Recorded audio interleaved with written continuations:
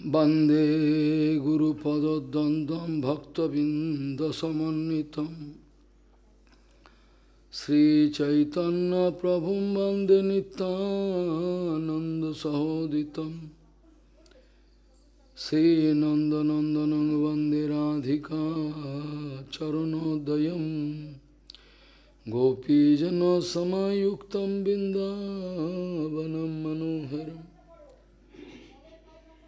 वाञ्छाकल्पतरुश्च कृपा च पतितानं पावनेभ्य वैष्णवेभ्यो नमो नमः।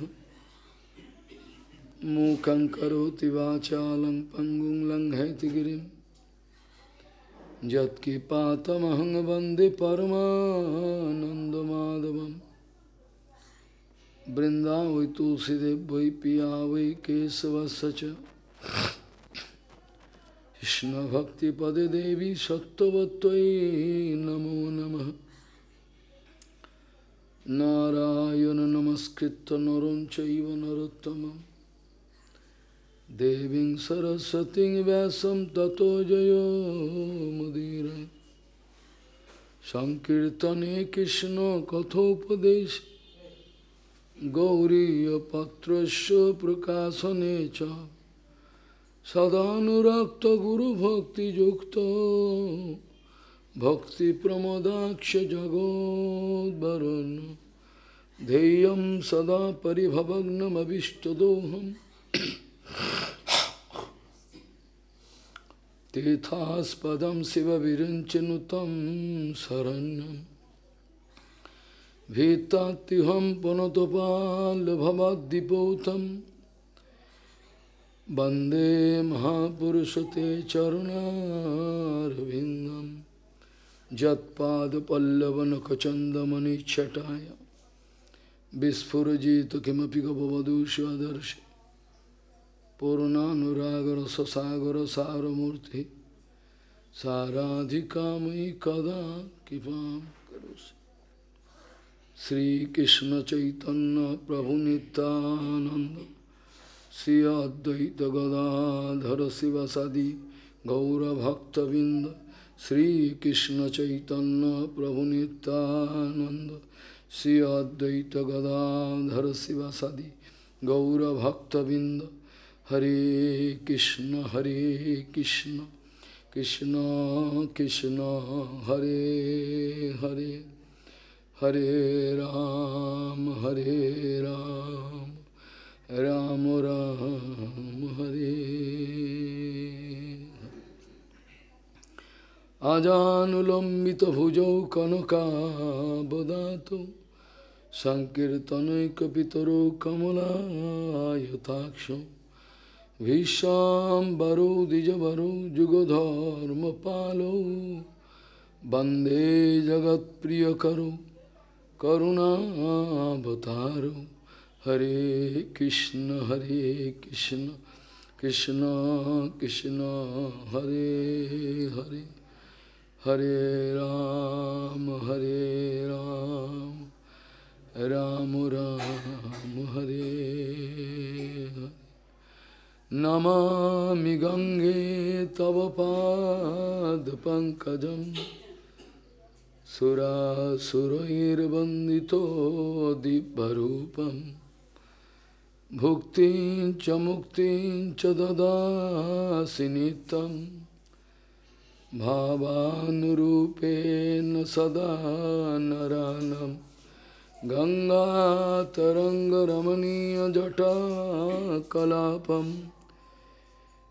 गौरी निरन्तरविभूषी त्ववामभागम् नारायणो प्रियमनङ्गमदापहारं वाराणसीपुरपति भजवीशनाथं वागीसजस्वदने लक्ष्मीर्जस्य च वक्षसि। यस्यास्ति हृदय संवित्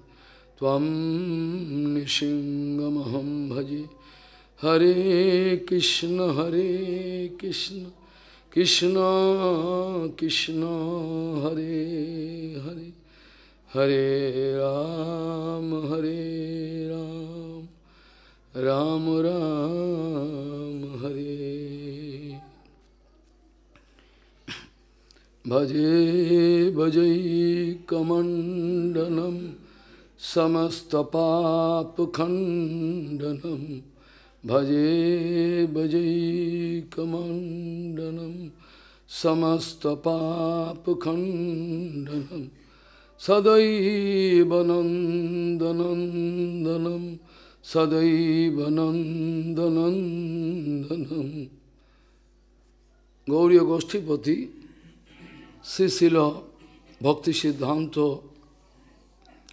সরস্বতী গোস্বামী ঠাকুর প্রভুপাত পরমাংশ জগৎগুরু জানিয়েছেন পরম বিজয়তে শ্রীকৃষ্ণ সংকীর্তনম এটা আমাদের গৌরীয় মঠের উপাস্য বস্তু গৌরীয় গোষ্ঠীপতি শ্রীশিল ভক্তি সিদ্ধান্ত সরস্বতী গোস্বামী ঠাকুর বহুপাত পরমংশ জগৎগুরু জানিয়েছেন, পরম বিজয়তে শ্রীকৃষ্ণ সংকীর্তনম।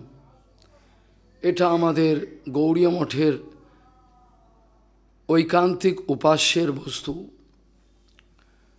পরম বিজয়তে শ্রীকৃষ্ণ সংকীর্তনম বলতে প্রপাত বলতে চাইছেন, শ্রীমতী দয়াময়ী রাধারানী, যিনি কৃষ্ণেরও গুরু।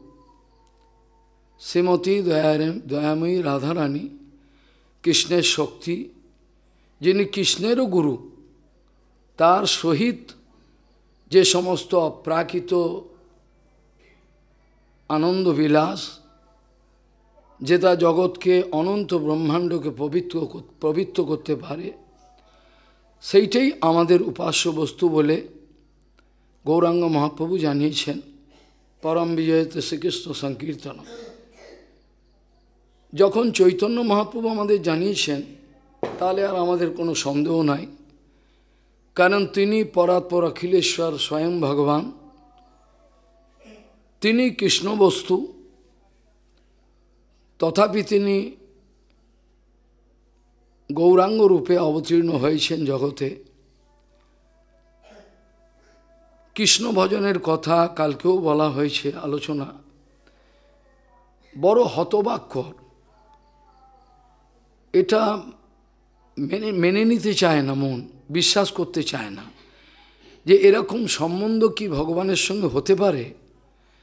ভগবানকে জড়িয়ে ধরবো, ভগবানকে চুমু খাব, ভগবানকে মারবো, ভগবানকে বাঁধবো, এও কি সম্ভব নাকি? এ কি পাগলের কথা? বলো না। পাগলের কথা নয়।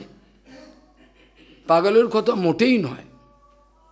বরঞ্চ ভগবান নিজে বলছেন, আমাকে যখন কেউ ঐশ্বর্য ভাবনা ছেড়ে দিয়ে এইভাবে মাধুর্যভাবে আমাকে ভজন করে।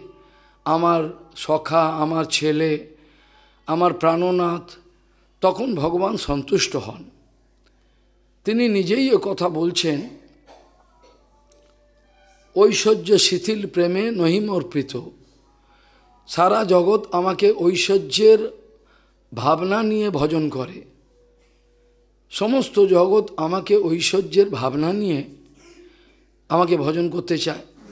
কিন্তু আমার তাতে আমার তাতে আনন্দ হয় না। কেন ঐশ্বর্যের ধারা, ঐশ্বর্যের দ্বারা মাধুর্য সংকুচিত হয়, এটা সবাই জানে। ঐশ্বর্যের দ্বারা মাধুর্য সংকুচিত হয়। কালকেও আলোচনা প্রসঙ্গে দেখিয়েছিলাম, বৃন্দাবনচন্দ্র ভগবান পরাৎপর অখিলেশ্বর করুণা বরুণালয় তিনি কখনোই প্রমাণ করতে চান না যে আমি ভগবান। এইটাই কৃষ্ণলীলার হচ্ছে বিশেষত্ব। তিনি কখনো প্রমাণ করতে চাননি, কৃষ্ণলীলার একটা জায়গাও তিনি প্রমাণ করতে চাননি, আমি ভগবান। এটা বলতে চাননি। কৃষ্ণলীলায় অর্জুনকে বলেছিলেন আদাতা বৃন্দাবনের মধ্যের কথা বলছি আমি। ওখানে তিনি বলেছিলেন সেটা আলাদা, সেটা ঐশ্বর্য জায়গা। কিন্তু বৃন্দাবনের মধ্যে কোনোদিন বৃন্দাবন লীলায় তিনি কোনোদিন এসব কথা প্রমাণ করতে চাননি। কারণ তার মাধুর্য মণ্ডিত লীলা ঐশ্বর্যকে আবৃত করে রাখে। যেটা না হলে ভগবানের লীলাটা আস্বাদনের যোগ্য হয় না। আস্বাদনের একটা যোগ্য হয় না। এই জন্য ভগবান বলছেন, ঐশ্বর্য শিথিল প্রেমে নহিমর প্রীত সমস্ত জগৎ আমাকে ঐশ্বর্য নিয়ে ভাবনা করে।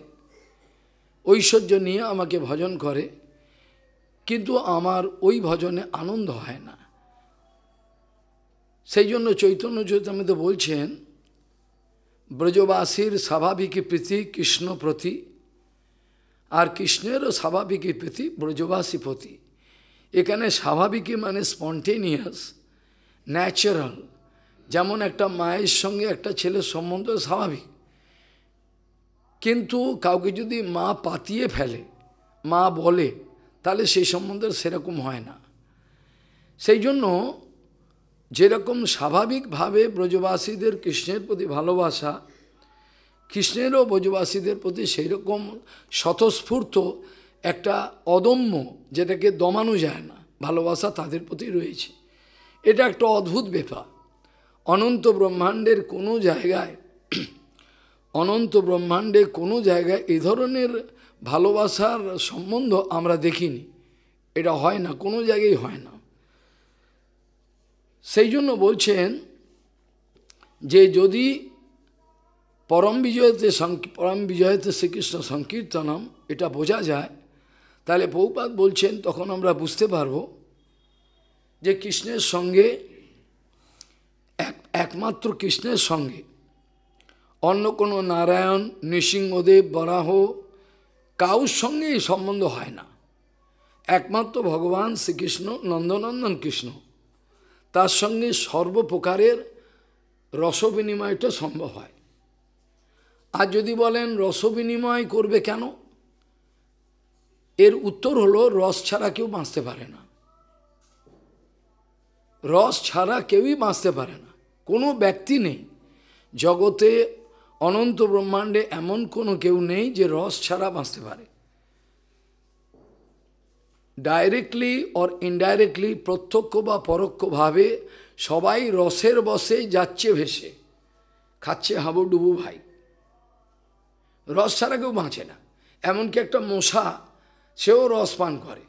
ও রস ও নতুন নতুন রক্ত খাবে। ও ছাড়বে না। এমনকি একটা শুকর নতুন নতুন বিষ্ঠা পান করুক, খাবে। ওর জন্য ও বেঁচে থাকবে। ও বিষ্ঠা পানটাই ওর জীবনে একটা বড়, বিরাট একটা আদর, একটা মতলব, ওইটা নিয়ে সে বেঁচে থাকবে। এখানে প্রত্যেক পানি কোনো না কোনোভাবে দেয়ার রস আস্বাদন করছে। নালে যদি রস না থাকে, তাহলে জীবনের কোনো অর্থ থাকবে না। যদি বলে রস নেব না তার হয় না। তাহলে জীবনের কোনো অর্থ থাকে না। যে কথা আসছে কালকে যদি সম্ভব হয় তখন আলোচনা করার ইচ্ছা আছে। মায়াবাদীদের কীরকম বিপর্যয়? মায়াবাদীদের কি, কী পরিমাণে বিপর্যয় সেটা পরে আলোচনা করা হবে। গুরু পূজা গুরু পূজা নয়, গুরু তিরোভাব তিথি উপলক্ষে কালকে কিছু এই আলোচনা করলে ভালো হবে। তাহলে ভগবানকে বলা হচ্ছে উপনিষদে রস বৈশ রস এবহি অয়ম লব্ধানন্দী ভবতী। বলছেন, তিনি রসের আকর। অনন্ত ব্রহ্মাণ্ডে যেখানে যে প্রকার রস, প্রত্যক্ষ বা পরোক্ষভাবে যদি বলে জগতের এই রস, এটাও কৃষ্ণ থেকে বিপরীতভাবে এসছে, প্রত্যক্ষ বা পরোক্ষভাবে এসছে, মায়াদেবীর থেকে এসছে। এইভাবে কৃষ্ণ ছাড়া রসের আকর আর কেউ নেই। যদি রস বিনিময় করতে হয়, তাহলে তার সর্বশ্রেষ্ঠ উপায় হলো কৃষ্ণের সঙ্গে রস বিনিময় কর।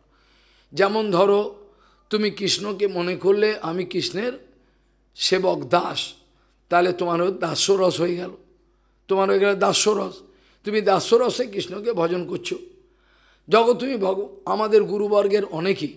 কৃষ্ণদাস বাবা আদি, আপনি জানেন কি না জানি না। তারা সক্ষরসে সিদ্ধিপ্রাপ্ত হয়েছে। সক্ষরসে। পাব, যেসব জঙ্গলে আমি থাকতাম, এই পাবন সরোবরে তিনি অবাক হয়ে মালা করতেন আর দেখছেন অবাক হয়ে কৃষ্ণের সব লীলাগুলো। চোখে চোখে ভেসে উঠত কৃষ্ণের গোচারণ লীলা, পাবন সরোবর নন্দগ্রাম যেমন বিল্লমঙ্গল ঠাকুর, বিল, বিল্লমঙ্গল ঠাকুর সাড়ে আটশো বছর তিনি কি করেছিলেন? ভগবানের কৃপায় ব্রহ্মকুণ্ডের ত্রিরে বসে কৃষ্ণের লীলাগুলো দেখতেন। সাড়ে আটশো বছর কেউ বিশ্বাসই করবে না। এত বছর ধরে সমানে বুধ হয়ে বসে সব লীলা দেখছেন। কাজেই এ বড় আশ্চর্য জিনিস। তাহলে কেউ যদি ভগবানকে বাৎসল্য রসে তাকে ভালোবাসে, আমার বন্ধু, তাহলে বাৎসল্য রস হবে। আর যদি বলে, আমার ছেলে মানে পিতা মাতা এই বুদ্ধিতে যদি কৃষ্ণ, আমরা পিতা মাতা এই বিচারে যদি কৃষ্ণকে ভালোবাসি, তাহলে সেটা হবে সেটা হবে, এবার এবার হচ্ছে তোমার হচ্ছে ওই যে গুরুজন যেটা কলে বাৎসল্য বাৎসল্য হয়ে গেল। আর যদি তার থেকেও ওপরে ওঠে, তাহলে সেটা হলো মাধুর্য রস। মাধুর্য মানে কৃষ্ণ আমার কান্ত যেটা পিঙ্গলা বেশ্যা বলেছিল, সারা জীবন নোংরাম করে ঠকে গিয়ে লাস্টে একদিন অনেক কথা, এগুলো বলার কোনো কথা নয়, কোনো এক সাধু সেই বারান্দায় তার গেছিল। ওই এক রাত্রে ওই বারান্দায় ছিল, রাস্তার বারান্দায়। এতে পিঙ্গলা বেশা চেঞ্জ হয়ে গেল মন। সে তখন বলছে, আমি যদি ভজনা করতে হয়, তাহলে আমি পরম পুরুষকে ভজনা করব। এইসব রক্ত মাংসের দুর্গন্ধ কেন করব। যেটা মীরাবাই বলেছিল। তুমি কাকে বিয়ে করবে? বাচ্চা বয়সে যখন মীরাবাইয়ের কথা আমাদের গৌড় মঠে আলোচনা হয় না, কারণ হলো তিনি রাধারানী আনুগত্য করেননি। কিন্তু বিক্ষিপ্ত তো একটা উদাহরণ দিলে কোনো আপত্তি কিছু নেই। এই বাচ্চা মেয়েটা দাঁড়িয়ে রয়েছে তার দিদার সঙ্গে এবং দেখছে একটা বর বর আর কোণে যাচ্ছে বাজিনা বাজিয়ে ও দেখছে এগুলো সব বিরাট জৌলুস বেরিয়েছে। তখন দিদিমা মজা করে বলছে, মা, তুই কাকে বিয়ে করবি? বলছে, আমি কৃষ্ণকে করব। বলে কৃষ্ণকে করবি? হ্যাঁ। সত্যি সত্যিই তাই। উনি কাউকে বিয়ে করবেন না, কৃষ্ণকে করবেন। তো এই যে একটা এবং এটা যে কত বড় সত্য কথা, এটা যারা দিনের পর দিন কথা শুনেছেন, যারা ডুবে গেছেন এসব বিষয়ে, তারা বিষয় বিষয়ে প্রমাণ পেয়েছেন, বিশ্বাস করতে পারে। সাধারণ যারা কয়েকদিন শুনছেন, তাদের তো এটা প্রতীতি হওয়া খুবই কষ্টকর, সম্ভব নয়। যাই হোক, এখন প্রশ্ন হলো, মাধুর্যভাবে, অর্থাৎ কৃষ্ণ আমার কান্ত, কৃষ্ণ আমার নিজজন বলেই যে ভালোবাসা, এটা একটা সাধারণ কথা নয়। এটা অনেক চরম কথা। এটা কোন অবস্থায় উঠলে পরে, কোন অবস্থায় কোন অবস্থায় উঠলে পরে তাহলে এই অবস্থাটা হয়। আবার সেই মাধুর্যের মধ্যে পার্থক্য আছে।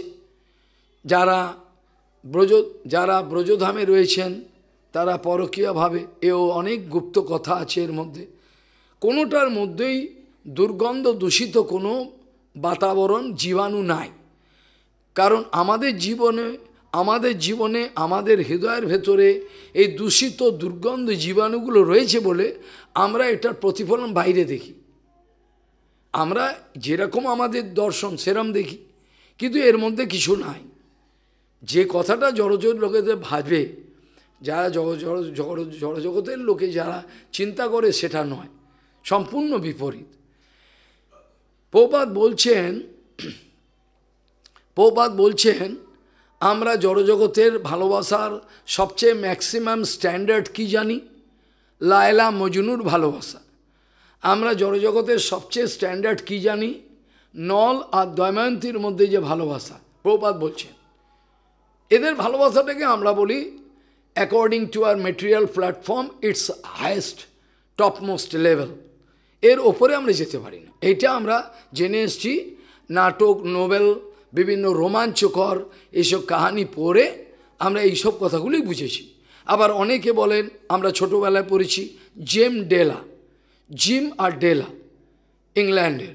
এদের ভালোবাসাটা নাকি চরম। কিন্তু পৌপাত বলছেন, এই অনন্ত ব্রহ্মাণ্ডের বৈকুণ্ঠের কথা আমি বলছি না, গোলক বৃন্দাবনের কথা বলছি না এই অনন্ত ব্রহ্মাণ্ডে যেখানে যত ভালোবাসা আছে, এই যে জগতে অনন্ত ব্রহ্মাণ্ড যেটা দেখতে পাচ্ছ, গ্রহ, তারা, নক্ষত্র যেখানে নজর যাচ্ছে না, তোমাদের নজর যেখানে যাচ্ছে না, সেই পর্যন্ত যদি চিন্তা করো, অনন্ত ব্রহ্মাণ্ডের কোনো জায়গায় এমন কোনো ভালোবাসা নাই যেটা বিশুদ্ধ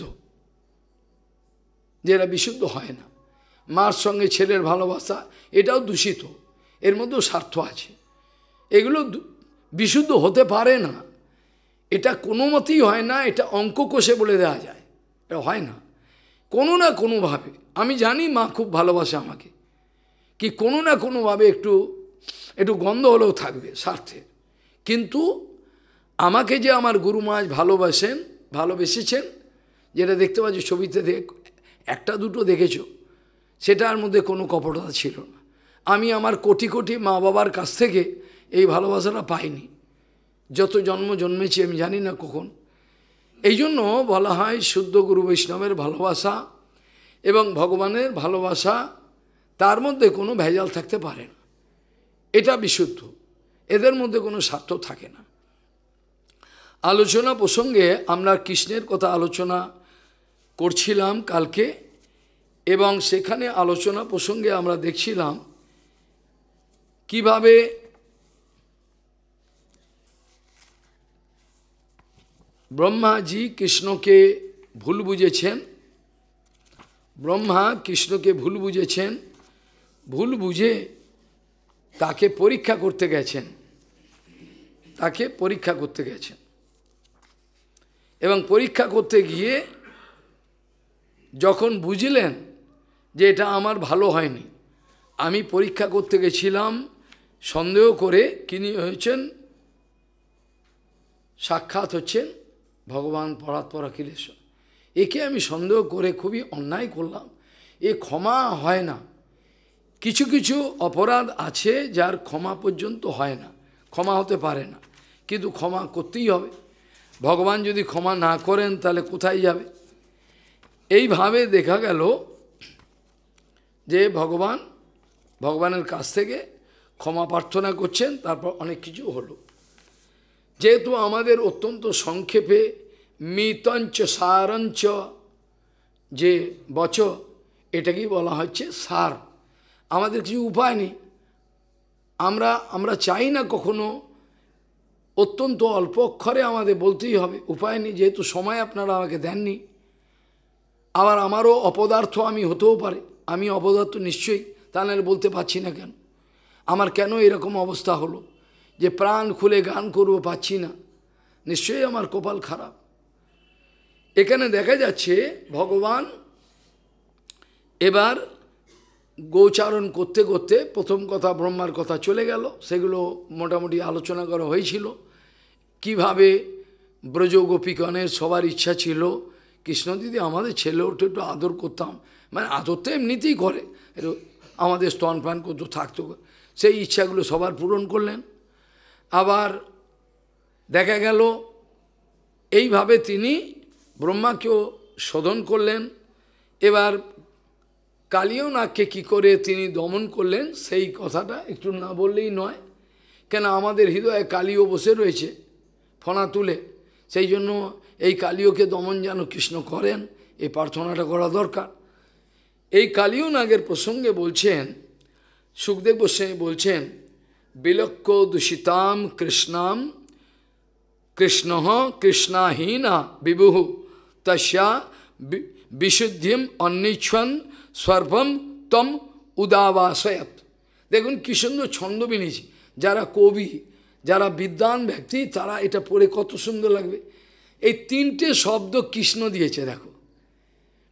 এটা যারা ছন্দ বোঝে, সংস্কৃত, ব্যাকরণ সব কিছু বোঝে, বিদ্বান ব্যক্তি, জ্ঞান, বিজ্ঞান, যারা, তারা খুব আনন্দ পায়। কি সুন্দর বলেছে বিলক্ষ দূষিতাম কৃষ্ণাম কৃষ্ণ কৃষ্ণাহীনা বিভু। কত সুন্দর ছন্দ মিলিয়েছে। প্রথম কৃষ্ণা যেটা বলল, সেটা হচ্ছে কালিন্দির নাম কৃষ্ণা। কালিন্দির যমুনার আরেক নাম কৃষ্ণা। দ্বিতীয় কৃষ্ণ যেটা ব্যবহার করছে, ওটার নাম সত্যি সত্যি কৃষ্ণ। আর তৃতীয় যেটা ব্যবহার করছে, এটা হচ্ছে কালীয় নাগ কৃষ্ণাহীনা। কি সুন্দর মিলিয়েছে ছন্দ। তারপরে যেন বিলক্ষ দূষিতাম কৃষ্ণাম, কৃষ্ণ কৃষ্ণাহীনা বিবুহু তস্যা বিশুদ্ধিম অন্বেষণ সর্পম তম উদাবাসয়ত। এই জলকে অনেক ঘটনা, কীভাবে কালীয় নাগ গরুরের কাছ থেকে বাঁচবার জন্য একমাত্র এখানে এসছে। কালীয় নাগের এখানে আসার দরকারই নেই। সে তো রমণিক দ্বীপে রমণক দ্বীপে থাকে। তার এখানে আসা কী দরকার পড়েছিল? বলে বাধ্য হয়ে এসছে। গরুরের সঙ্গে তিনি শত্রুতা করেছিলেন অকারণে। ভগবান গরুরের সঙ্গে যে গরুর ভগবান ভগবানকে কাঁদে নেন তিনি ভগবানের থেকে আলাদা তত্ত্ব নন। তাক, তার চরণ অপরাধ করেছিল। তার খাওয়া দাওয়াগুলো লুটে নিয়েছিল। বলে কি করে দেখি? তখন সেই গরুর ভগবান তাকে শাস্তি দেওয়ার জন্য। এখন ওই কালিয়নাগের মাথায় ছিল, আমি এখন না পালিয়ে গেলেও আমায় মেরে ফেলবে। আমি কোনো জায়গায় গিয়ে বাঁচব না, একটা জায়গা আছে। সেটা হচ্ছে বৃন্দাবনে যদি কালী হ্রদে কালীয় হ্রদে যাই মানে যেটা পরে কালীয় হ্রদ হলো, কারণ সেখানে সৌবরী মুনি অভিশাপ দিয়েছিলেন গরুরকে। মাছেদেরকে এখানে খেতে পারবেন যাও। খেলেই তোমার ডানা খুশি তার ওই একটাই জায়গা আছে পৃথিবীতে, আর কোনো জায়গা নাই। সেই জন্য তিনি কি করলেন? কালীয় কি করলেন? কালী ওর পূর্বজন্মের ইতিহাস আছে। এসব কথা আর এলাম না, অনেক পুরাণের অনেক কথা। কে শোনে আর কে মনে রাখে, হাসি লাগে। যাই হোক, এখন কালীও এসে ওখানে স্থান নিয়েছিল। এতে হলো কি, ব্রজবাসীদের কষ্ট হচ্ছে। তারা যমুনায় জল নিতেই যায়। যমুনা তাদের একমাত্র পানীয় জল এবং তারা স্নান পান করে। যমুনাকে কালীয় রথ থেকে বিষ আসে, এসে সব জ্বলছে, কালীয় রথ ফুটছে বিষের। এই জন্য সবার ব্রজবাসীদের মঙ্গলের জন্য কৃষ্ণ কী করলেন? এই কালীয় নাগকে দমন করার জন্য সংকল্প করলেন। এবার কালীয় নাগকে দমন করবার জন্য কৃষ্ণ এক লীলা করলেন, লীলাটা কি? না তিনি গোচরণ করতে করতে সেদিন অনেক জায়গায় যান।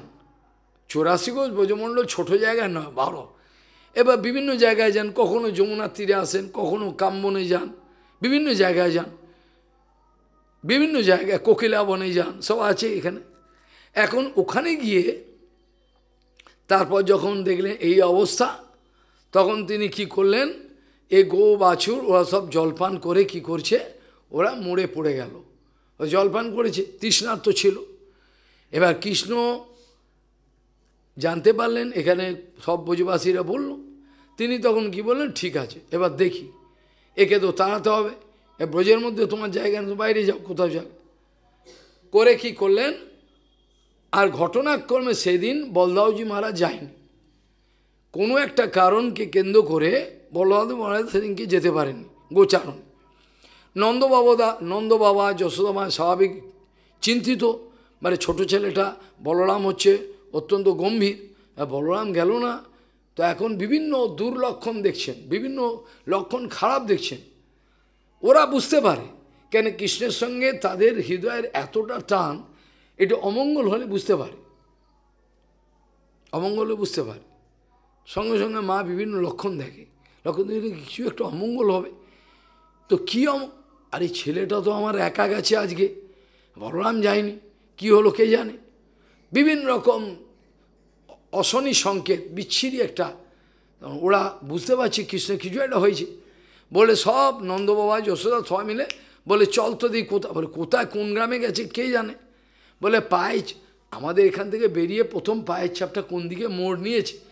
পায়ে তো মুড়েছে পায়ের ছাপ তো আছে কৃষ্ণ কেন পায়ের ছাপের মধ্যে অঙ্কুশ, ধ্বজ, অনেক অনেক চিহ্ন আছে, ওরা বুঝতে পারে। ওই পায়ের ছাপ লক্ষ্য করে করে ওরা এবার যমুনার তীরে এসে দেখে, কৃষ্ণ ঝাঁপ দিয়েছে কালী হ্রদে, সেখানে দেখছেন ভয়ঙ্কর অবস্থা। কালীনাগ কৃষ্ণকে জড়িয়ে ফেলেছে, বাচ্চা এরকমভাবে রয়েছে আর কালীনাগ এবার তাকে জড়িয়ে একেবারে সব মারে। তার নন্দ বাবা, যশোদা মা, উপানন্দ প্রভাবতী, সবাই কাকিমা সব মিলে বলে, আমরা সব ঝাঁপ দেবো, যেমন, আমরা মরব। সবাই সংকল্প করে আমরা কৃষ্ণ ছাড়া আমরা বাঁচতে পারব না। কেন? কৃষ্ণই তাদের প্রাণ। গুরুপাদ পদ্ম একটা বই লিখেছিলেন, সেটা ইংরেজিতে অনুবাদ করা হয়েছিল, সে এখানে নাই। আশিটার মতো গ্রন্থ ভগবানের ইচ্ছায় বেরিয়েছে এখনও পর্যন্ত তো অনেক গ্রন্থ বেরোচ্ছে। সফট কপি কম্পিউটারে ইন্টারনেটে গুরুমা লিখেছিলেন হার্ট অফ কৃষ্ণ অর্থাৎ বৈষ্ণব অপরাধটা কি করে ওটার অনুবাদ করেছেন? কৃষ্ণের হৃদয় হলো বোঝ সব ভক্তরা হলো হৃদয়। এখানে এবার সেই অবস্থায় দেখে সমস্ত ব্রজবাসীরা যখন জলেতে ঝাঁপ দেবে, তখন বলরাম তাদেরকে আটকালো। কেন বলরাম জানেন? যে আমার ভাইটা কে সেটা জানেন। বলে তাদেরকে আটকালেন, তোমরা কেউ ঝাঁপ দেবে দাঁড়াও। সবাইকে আটকেলেন। ওরা তো ঝাঁপ দেবে, জোর করে। বলরাম অপেক্ষা করছেন, তারপরে এবার কৃষ্ণ দেখল, ব্রজবাসীরা অত্যন্ত দুঃখিত। এদেরকে দুঃখ থেকে বাঁচাতে হবে। সেই জন্য তিনি কী করলেন, ওই কালিওর যে বন্ধন থেকে বেরোলেন, বেরিয়ে এবার কি করলেন, তিনি লাভ দিয়ে কালিওর হ্রদে, অনেক কথা লাফিয়ে মাথায় উঠলেন। মাথায় উঠে কি করলেন? এবার তারপর খলস বলছেন তম প্রচণ্ড বেগ বিষবীর্য মাবেক্ষা। তেন দুষ্টাম নদীঞ্চ খল সংযম খল সংযমন অবতার কৃষ্ণ কদম্ব্যম মধিরুঝ্য তত অতি উত্তঙ্গম মা স্ফোট্ট গারো রস, গারো রসনো নপতৎ বিষোদে। বলছেন তিনি একটা কদম্ব বৃক্ষ এখনও বেঁচে আছে, দেখবেন। কালিয়াতে গেছেন না? পুরনো। সেই কদম্ব বৃক্ষের মাথায় উঠে পড়ল। উঠে কোমরটাকে কি করল? পিতাম্বর, এই পিতাম্বরটাকে ভালো করে বাঁধলো, উত্তরীয় দিয়ে। বেঁধে এবার উপর থেকে এক ঝাঁপ মারলো তলায়। ঝাঁপ মেরে কী হলো? জল যখন তোলপার হয়ে গেল, কারণ তিনি অনন্ত ব্রহ্মাণ্ড নায়ক। কৃষ্ণ ঝাঁপ দিল মানে হচ্ছে অনন্ত ব্রহ্মাণ্ডে ঝাঁপ দিল। অনন্ত ব্রহ্মাণ্ড নায়ক সে ঝাঁপ দিয়েছে, জল তোল তোলপার এবার কালীনাগ এবার বলছে, আমার এখানে কে বিরক্ত করতে এলো দেখি? আরে, মুশকিল, এর একে একটা ছোট্ট ছেলে সে এরকম ধরনের করছে। তখন কালীনাগ, সাপ তো, সাপের কিছু কারণ নেই, তোমার ছবল মেরে দেবে, কোনো কারণ নেই। সাপের এটি স্বভাব, চরিত্র। তখন কি হলো? এবার বেরিয়ে এলো, এসে এবার তার সঙ্গে লড়াই। তাকে জড়িয়ে ধরলো অনেক কথা। এবার কৃষ্ণ কি করলেন? তার উপরেতে, উপরে উঠলেন মাচা, মাথায়। মাথায় উঠে সহস্র ফণা, প্রচুর ফণা। এই ফণাগুলোকে তিনি কী করছেন? এবার উদণ্ড নৃত্য করতে আরম্ভ করলেন। এ এক অদ্ভুত নৃত্য। কে কোনোদিন দেখেনি? অদ্ভুত।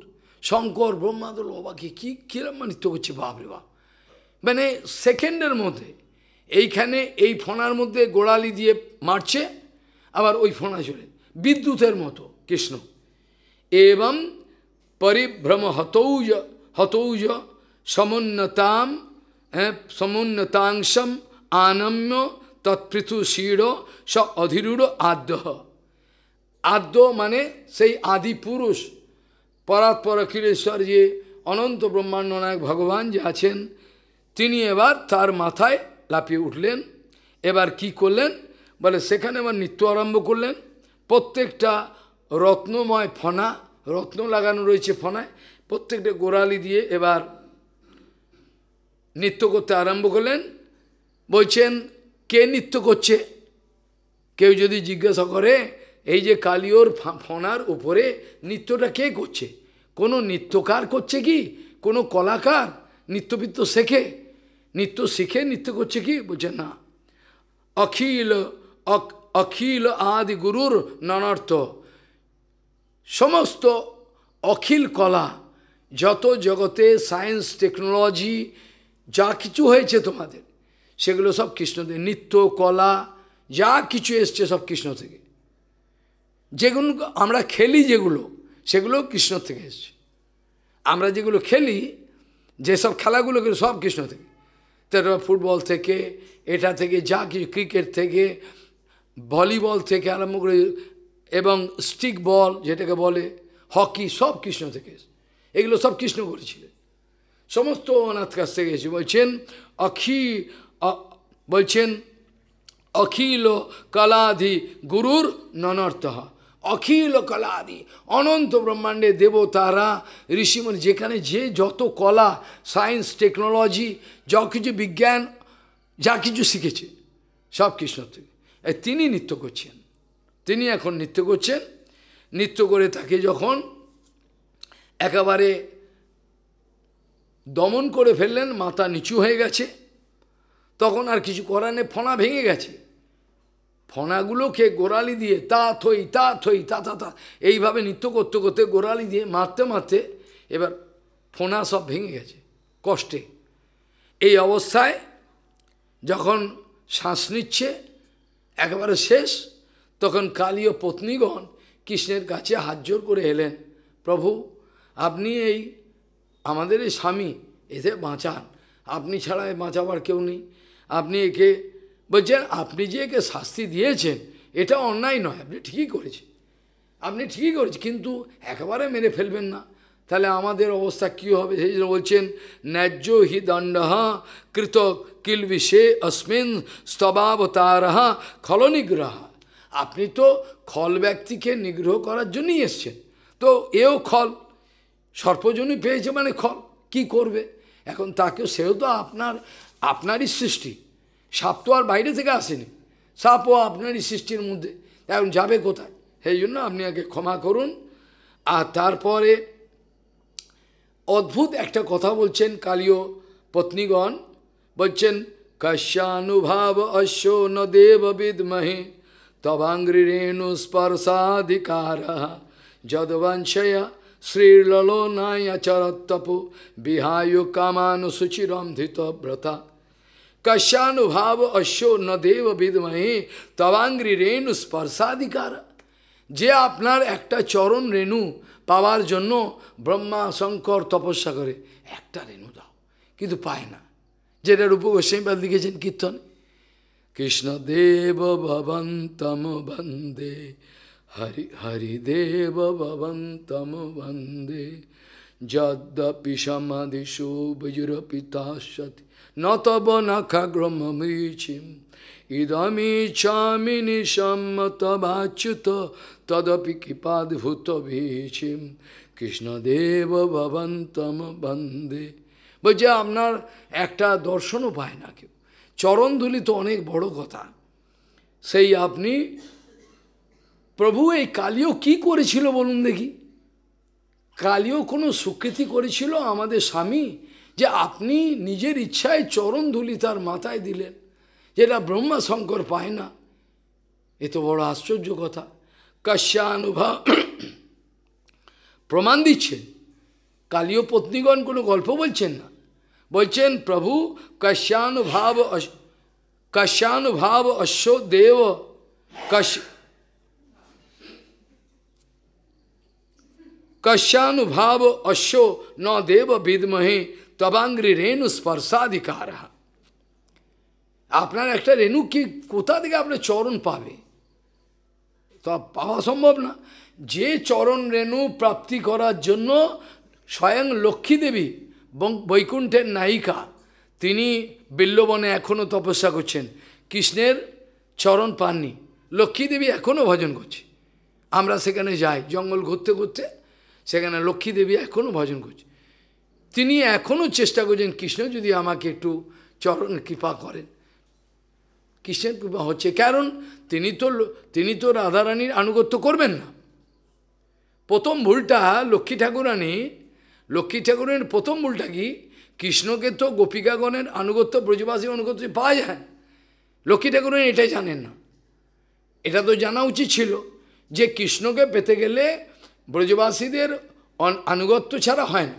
সে তুমি সখা পাও বা দাস হও, তুমি বাৎসল্য যে হোক, কিন্তু যে কোনো ব্রজবাসীর আনুগত্য ছাড়া তোমার হবে না তো। তুই তো করনি। যার জন্য মীরাবাই মীরাবাই যার জন্য এটা বলা উচিত, মীরাবাই সারা জীবন, মীরাবাই সারা জীবন কেঁদে কেঁদে পাগল হয়ে গেলেন। কত লিখলেন, রাজপুত্রী রাজপুত্রী রাজার কন্যা, কি অপূর্ব। কিন্তু তিনি সারা জীবন কেঁদে কেঁদে পাগল হয়ে গান করলেন কি? মেরা তো গিরিধারী লাল, দুসরা না কহি। মেরা তো গিরিধারী লাল, দুসরা না কই আমার গিরিধারী লাল ছাড়া আর কাউকে আমি চিনি না। আর তা তো বটে, আমরা মানলাম। কিন্তু তুমি তো রাধারানী আনুগত্য করো নাই। তোমার এইখানে ভুল হয়ে গেছে। তুমি ব্রজেতে এসছিলে। ব্রজেতে ছিলে, মীরাবাইয়ের ভজন কুটিরও আছে। সেখানে সেই গিরিরাজও আছে। কিন্তু তিনি একটা কথা ভুল করেছিলেন।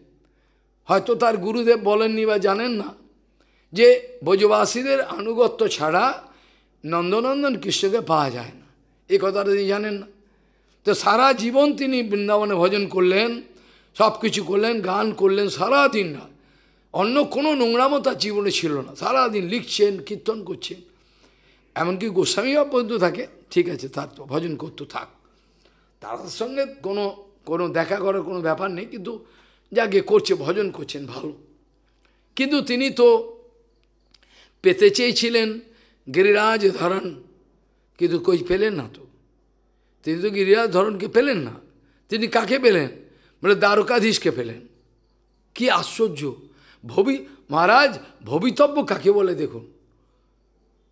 ভবিতব্য কাকে বলে দেখুন? ঠিক কীরকম ব্যাপার। ও ওই সময় দ্বারকা যাওয়ার মন করল। কেন তার মন হলো কি জানে? এ তো বৃন্দাবনে ছিল। তার দ্বারকা যার মন হলো। দ্বারকায় গেল, গিয়ে সেখানে ভগবানকে দর্শন করল। এবার বলছে, এইখানে আমি জলের মধ্যে প্রাণ ছেড়ে দেবো। কৃষ্ণ যখন দর্শন দিল না, আমি এত ভালোবাসি। পেছন থেকে দেখে কৃষ্ণ দাঁড়িয়ে রয়েছে, আটকে দিয়েছে ঝামতিতে দেবে না। কিন্তু শেষে কি হলো? তিনি দ্বারকাধীশের সঙ্গে মিলে গেলেন। তিনি মিলে গেলেন দ্বারকাধীশ তিনি নন্দনন্দন কৃষ্ণকে পেলেন না বৃন্দাবনের যে কৃষ্ণ, যার ভজনা আমরা করি তাকে পেলেন না। কেন কিন্তু রাধারানী আনুগত্য করেন নাই, ব্রজবা, ব্রজগোপীগণের আনুগত্য করেন, পেলেন। সারা জীবন তিনি মেরা তো গিরিধারী লাল, দুসরা না কই কিন্তু লাভ হলো কি? দ্বারকার মহিষীগণের যে গতি, সেটা হয়ে গেল। যে সিদ্ধি, সেটা হয়ে গেল। তা এখন ভালো কথাই বলেছেন। কালীয় পত্নীগণ বলছেন কশ্যানুভাব অশ্ব ন দেব বিদমহে তবাঙ্গ্রি রেণু স্পর্শাধিকার যদবঞ্ছয়া শ্রীর লালো ললো নায়চরত্তপো বিহায় কামানো সুচিরম সুচিরম ধৃতব্রতা। সুচিরম মানে দীর্ঘকাল। ধৃতব্রতা, ব্রত ধারণ করে এখনও তপস্যা করছেন ওখানে।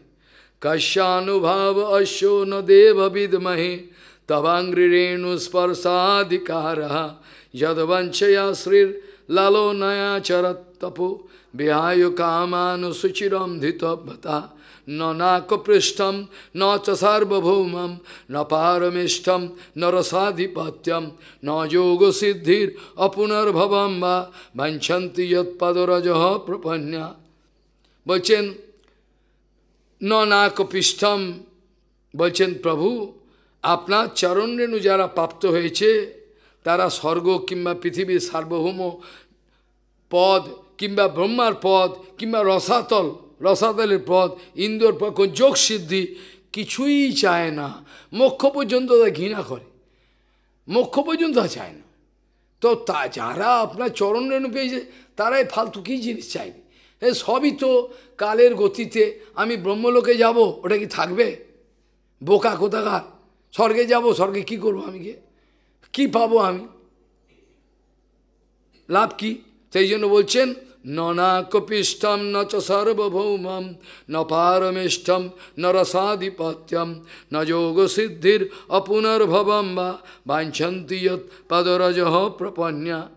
তারপরে প্রণাম করছেন, ভগবান এবার তাদের কৃপা করলেন, নমস্তুভ্যাম ভগবতে পুরুষায় মহাত্মনে ভূতা ভূতাবাসায় ভূতায় পরায় পরমাত্মনে এইভাবে করে এবার অনেক কথা বললেন, সেসব কথা বলার সময় নাই।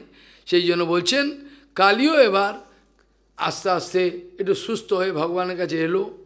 বলছেন, ভগবান, আপনি তো জানেন, বয়ম খলাহা সোৎপত্তা তমসা দীর্ঘ দীর্ঘমন্নব স্বভাব দুস্তার্যনাজ লোকানাম যত অসদ্গ্রহ বলে, প্রভু, আমরা কি করব?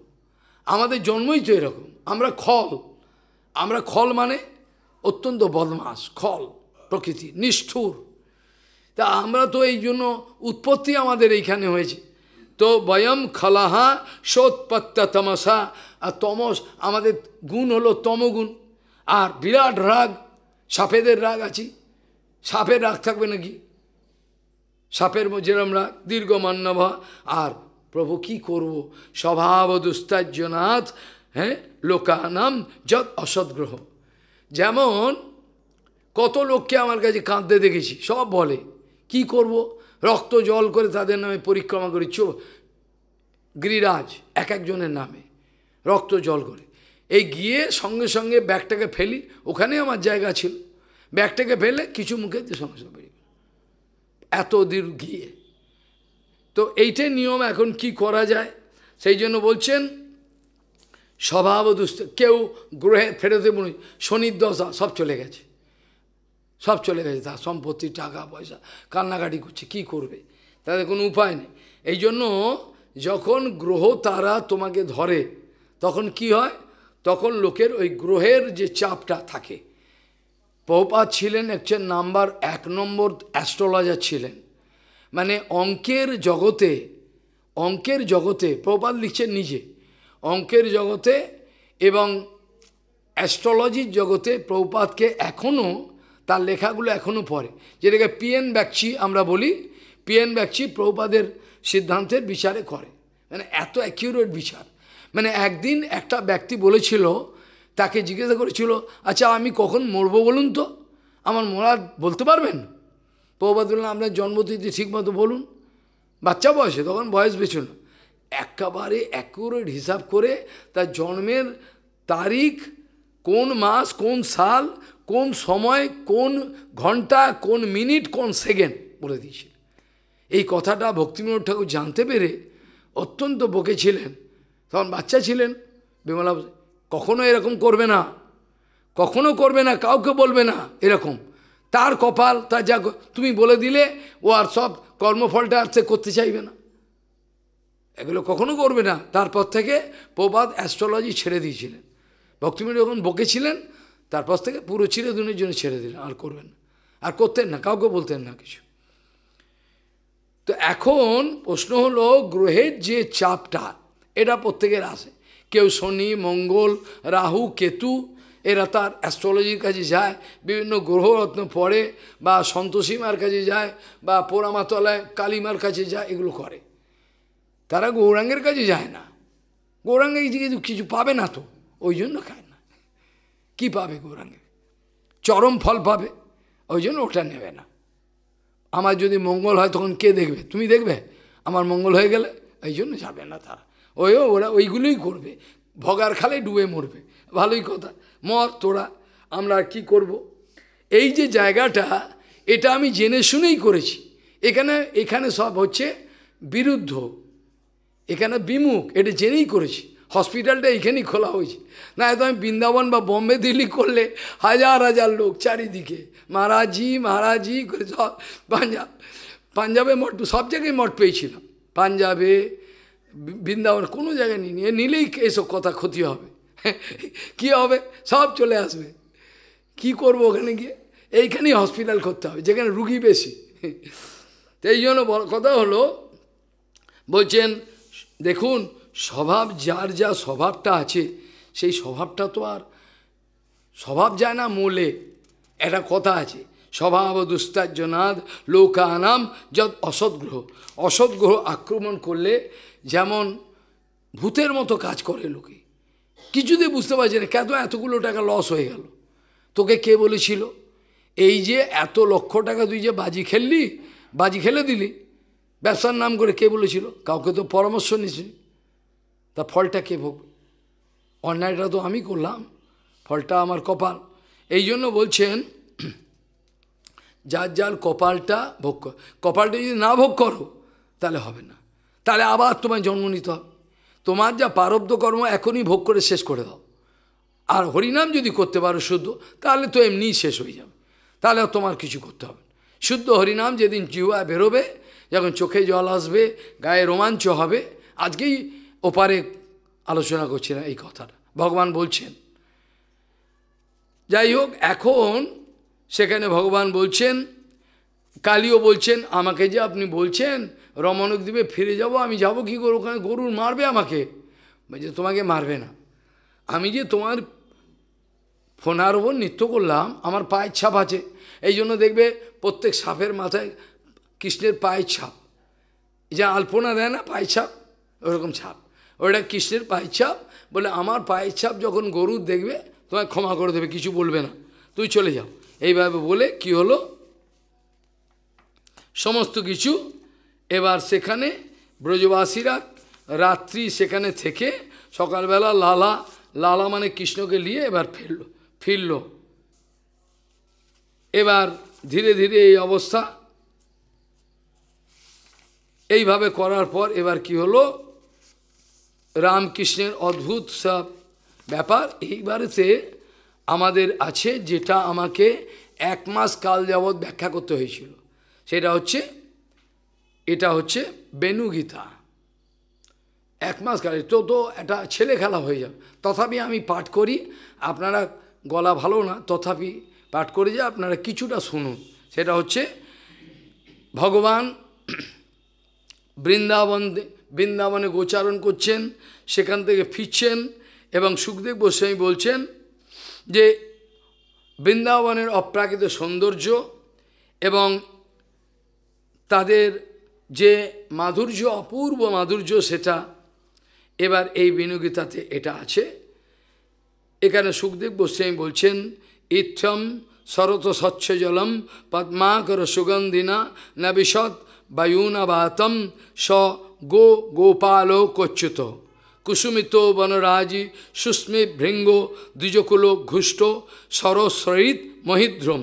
মধুপতি রবগাহ্য চারয়ন গা সহ পশুপাল বলশ্চ কুব্জ বেণুম। তদ্ভজশ্রিয় আশ্রুত বেণুগীতম স্ম স্মরোদয়ম, কাশ্চিৎ পরক্ষম, কৃষ্ণস্য সখীভ্য অন্নবর্ণয়। কৃষ্ণ যখন গোচারণ করে ফিরছেন, তখন অপূর্ব এক মাধুর্য বিস্তার, চারিদিকে এমন যেন গাছপালা, লতা নৃত্য করছে, কৃষ্ণ ফিরছেন, বংশীবাদন করতে। আর সখাগুলো হই হই করে নৃত্য করতে করতে আসছেন। গোপিকাগণ দাঁড়িয়ে রয়েছেন। আমাদের প্রাণনাথ এবার ফিরবে। এটা দূর থেকে যখন বংশীর ধ্বনিটা পেয়েছেন, সঙ্গে সঙ্গে এক সখী আরেক সখীর কাছে এই বর্ণনা করছেন। এটা হচ্ছে সেই বর্ণনা। যে সখী, দেখো এই অবস্থা। আর কৃষ্ণ কীরকমভাবে ফিরছেন, সেই রূপটা বর্ণনা করেছেন। সেরা বলছেন बरहापीरम नटवर वपु कर्णयो कर्णिकारम विद्वदवास कनक कपिशम वैयंती चमालम रंधानुवेन रदरसुदय पूरायन गोपबिंदुई बृंदारण्यम सपदरमणम प्रविशद गीत कीर्ति बोलचें কীর্তি বলছেন বরহাপীরম নটবরবপু কর্ণയോ কর্ণিকারম বিদ্ধদবাস কনককুপিসম বৈয়ন্তিঞ্চমালম রন্ধানবেন রদরসুধয়া পুরায়ন গোপবিন্দৈ বৃন্দারণ্যম সপদরমণম প্রবিশাদ গীত কীর্তি এটা বর্ণনা করছেন নটবর বপু তিনি হচ্ছেন এক, একমাত্র নায়ক, অনন্ত ব্রহ্মাণ্ডের। বরহা পীড়ম বলছেন, এখানে ময়ূরের পালক, এখানে ময়ূরের পালক রয়েছে, ওপরে ময়ূরের পালক, পুচ্ছ, আর কানেতে কর্ণিকা ফুল রয়েছে, কর্ণিকা ফুল রয়েছে, আর বিদ্যুতের মতো বরণ তার কাপড়, আর কি হচ্ছে, অপূর্ব, আর বৈজন্তী বৈজন্তী অঞ্চমালা। বৈজন্তী মালা হলো বৈজন্তী মালা হলো পাঁচ রকমের পাঁচ রকমের বিভিন্ন সুগন্ধ পুষ্প দিয়ে যদি মালা গাঁথা হয়, পাঁচ রকমের মিশিয়ে, সেটাকে বলে বৈজন্তী মালা। আর এইরকমভাবে এক একটা বংশীটাকে ধরে রয়েছেন, আংলিগুলো চালাচ্ছেন, আর এত সুন্দর রব উঠছে, সেই রবেতেই যেন মনে হচ্ছে প্রকৃতি নৃত্য করতে আরম্ভ করছে। পশু, পাখি, ময়ূর, আমরা নিজেই দেখেছি, এই যে জঙ্গল থাকতাম সকালবেলা ভজন করে ময়ূরগুলো এসে আমার নাচত। অপূর্ব, এইগুলো ভুলতে পারি না। এগুলো অভিজ্ঞতাগুলো আছে। কাজেই এই যে কত বড় সত্যি কথা, আর সখাগণ তার গুণগান করছেন, আর এই করতে করতে কৃষ্ণ এবার সখাগুলো ছুটছে, আর কৃষ্ণ ধুলো ধুলো লেগেছে চারিদিকে ব্রজের ধুলো। গৌ মাতা ছুটছে ওরা ছুটছে। ধুলো দিয়ে অপূর্ব মানে সৌন্দর্যটা যেন বেড়ে গেছে, অপূর্ব এ অবস্থায় এবার পরে বলছেন, ইতি বেনুরবম রাজন সর্বভূত মনোহরম শ্রুত্যাবজ শ্রিয় সর্বাভরণয়ন্ত অভীর অভীর এটা শোনার পর একে অপরের কাছে বর্ণনা করছে। এ বড় অদ্ভুত। বলছেন, গোপিকারা বর্ণনা করছেন যে চোখের আমাদের যে চোখটা দিয়েছে, এই চোখের ফলটা কি? চোখের সার্থক কি? চোখের সার্থক হলো কৃষ্ণ দর্শন।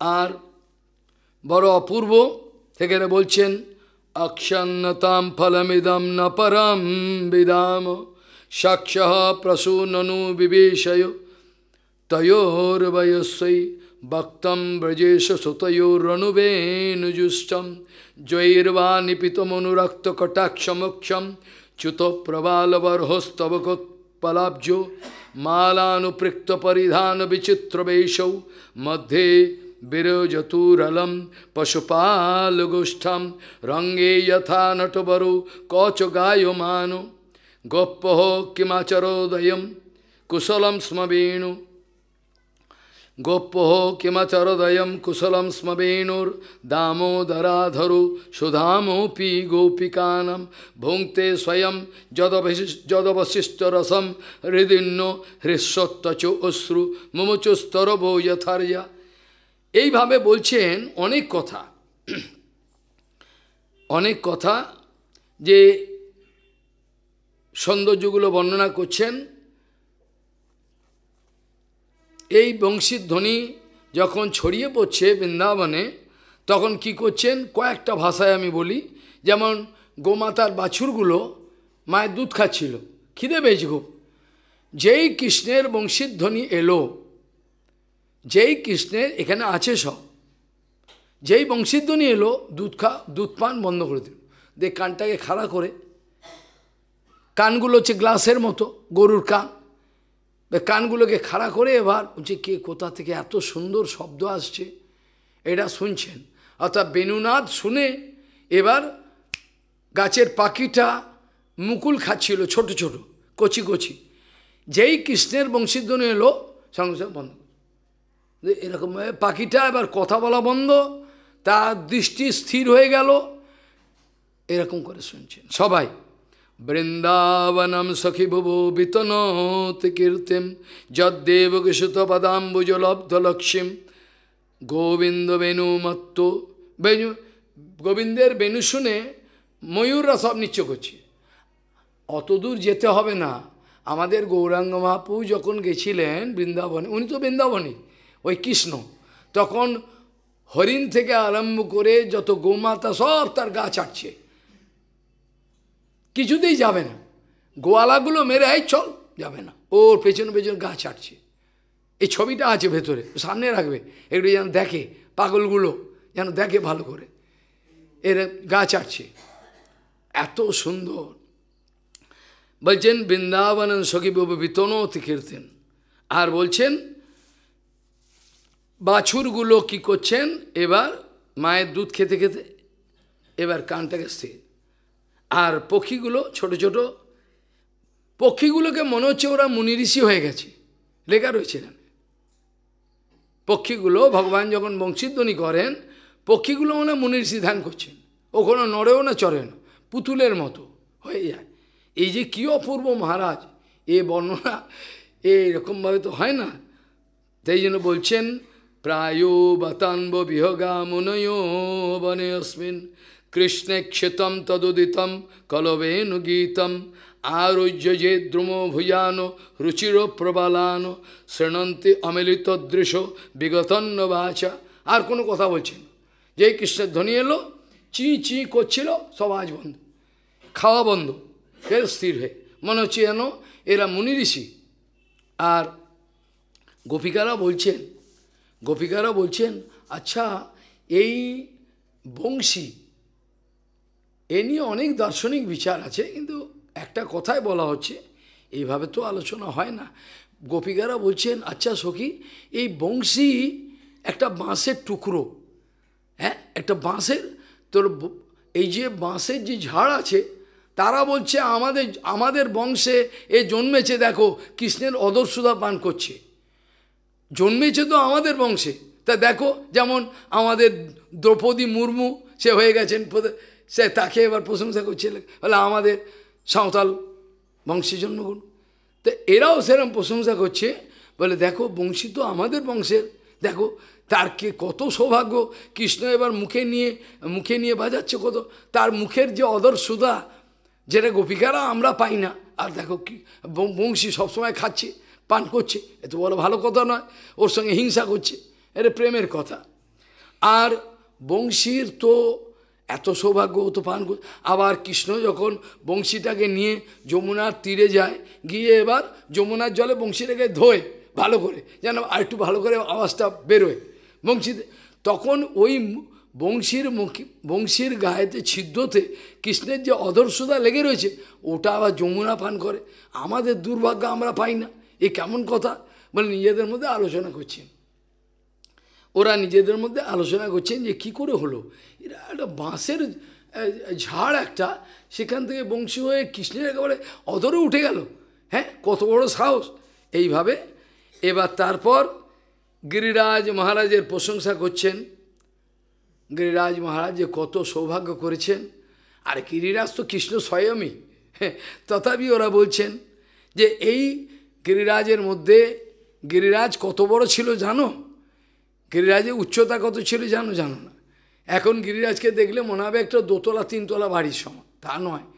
এটা অভিশাপে চলে যাচ্ছেন অনেক কথা সেসব এখন প্রশ্ন হলো, গিরিরাজের উচ্চতা এত ছিল, উচ্চতা বড় থাকলে তোমরা বুঝবে না। ধরো এরকম একটা বস্তু।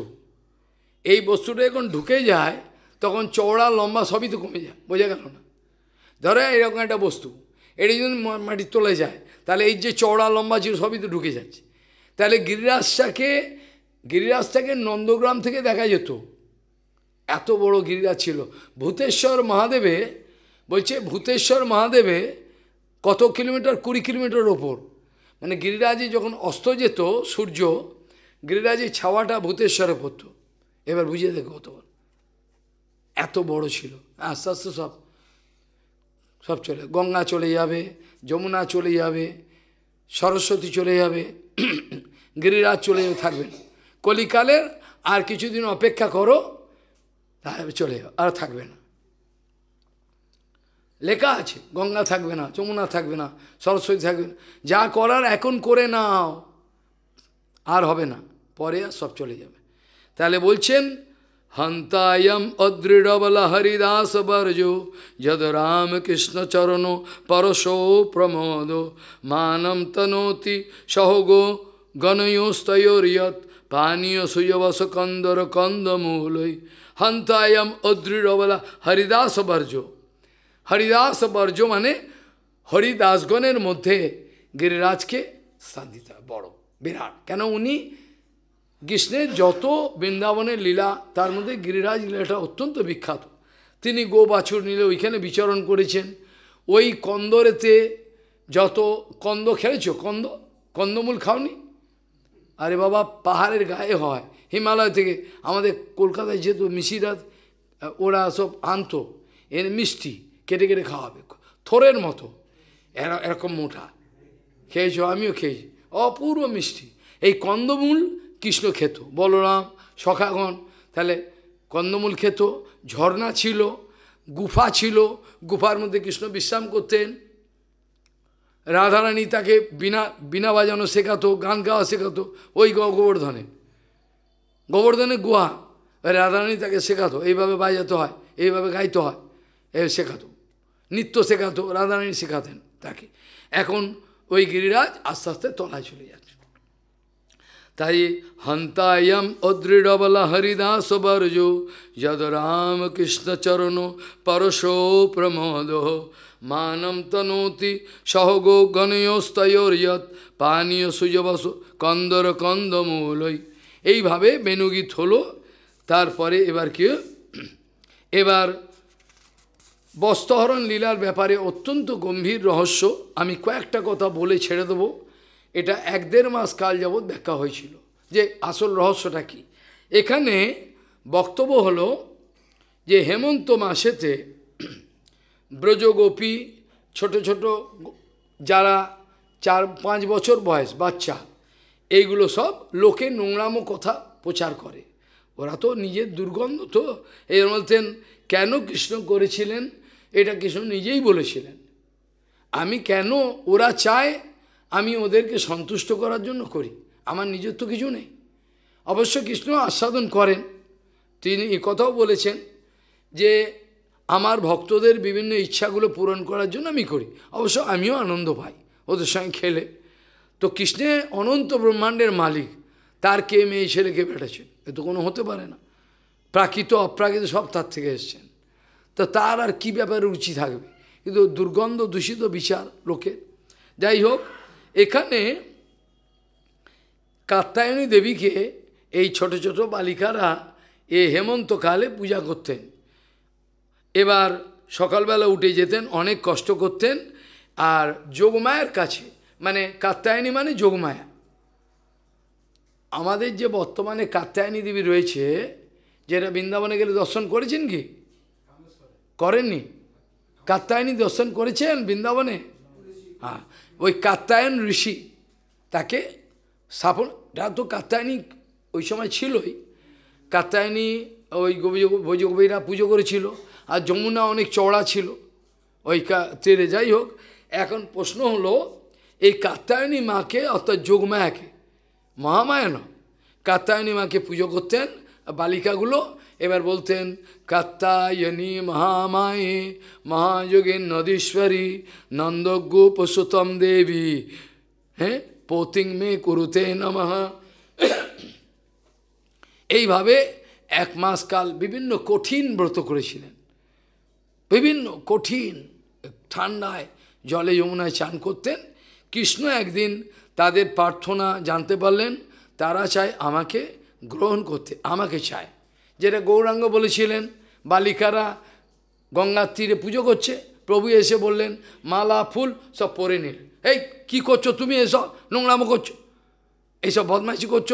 শশীমাকে বলে দেবো। বলছে, কার পুজো করিস তো? করছ তোমরা? কার পুজো করছ? আমি তো জানি তোমরা কি চাও। তো এই জন্য আমি এলাম। গঙ্গা, দুর্গা, দাসিমুর, মহেশ কিঙ্কর, প্রভু কহে, আমা পুজো, আমি দিব বর। আমি বর দেবো। তোমাদের হয়ে গেল।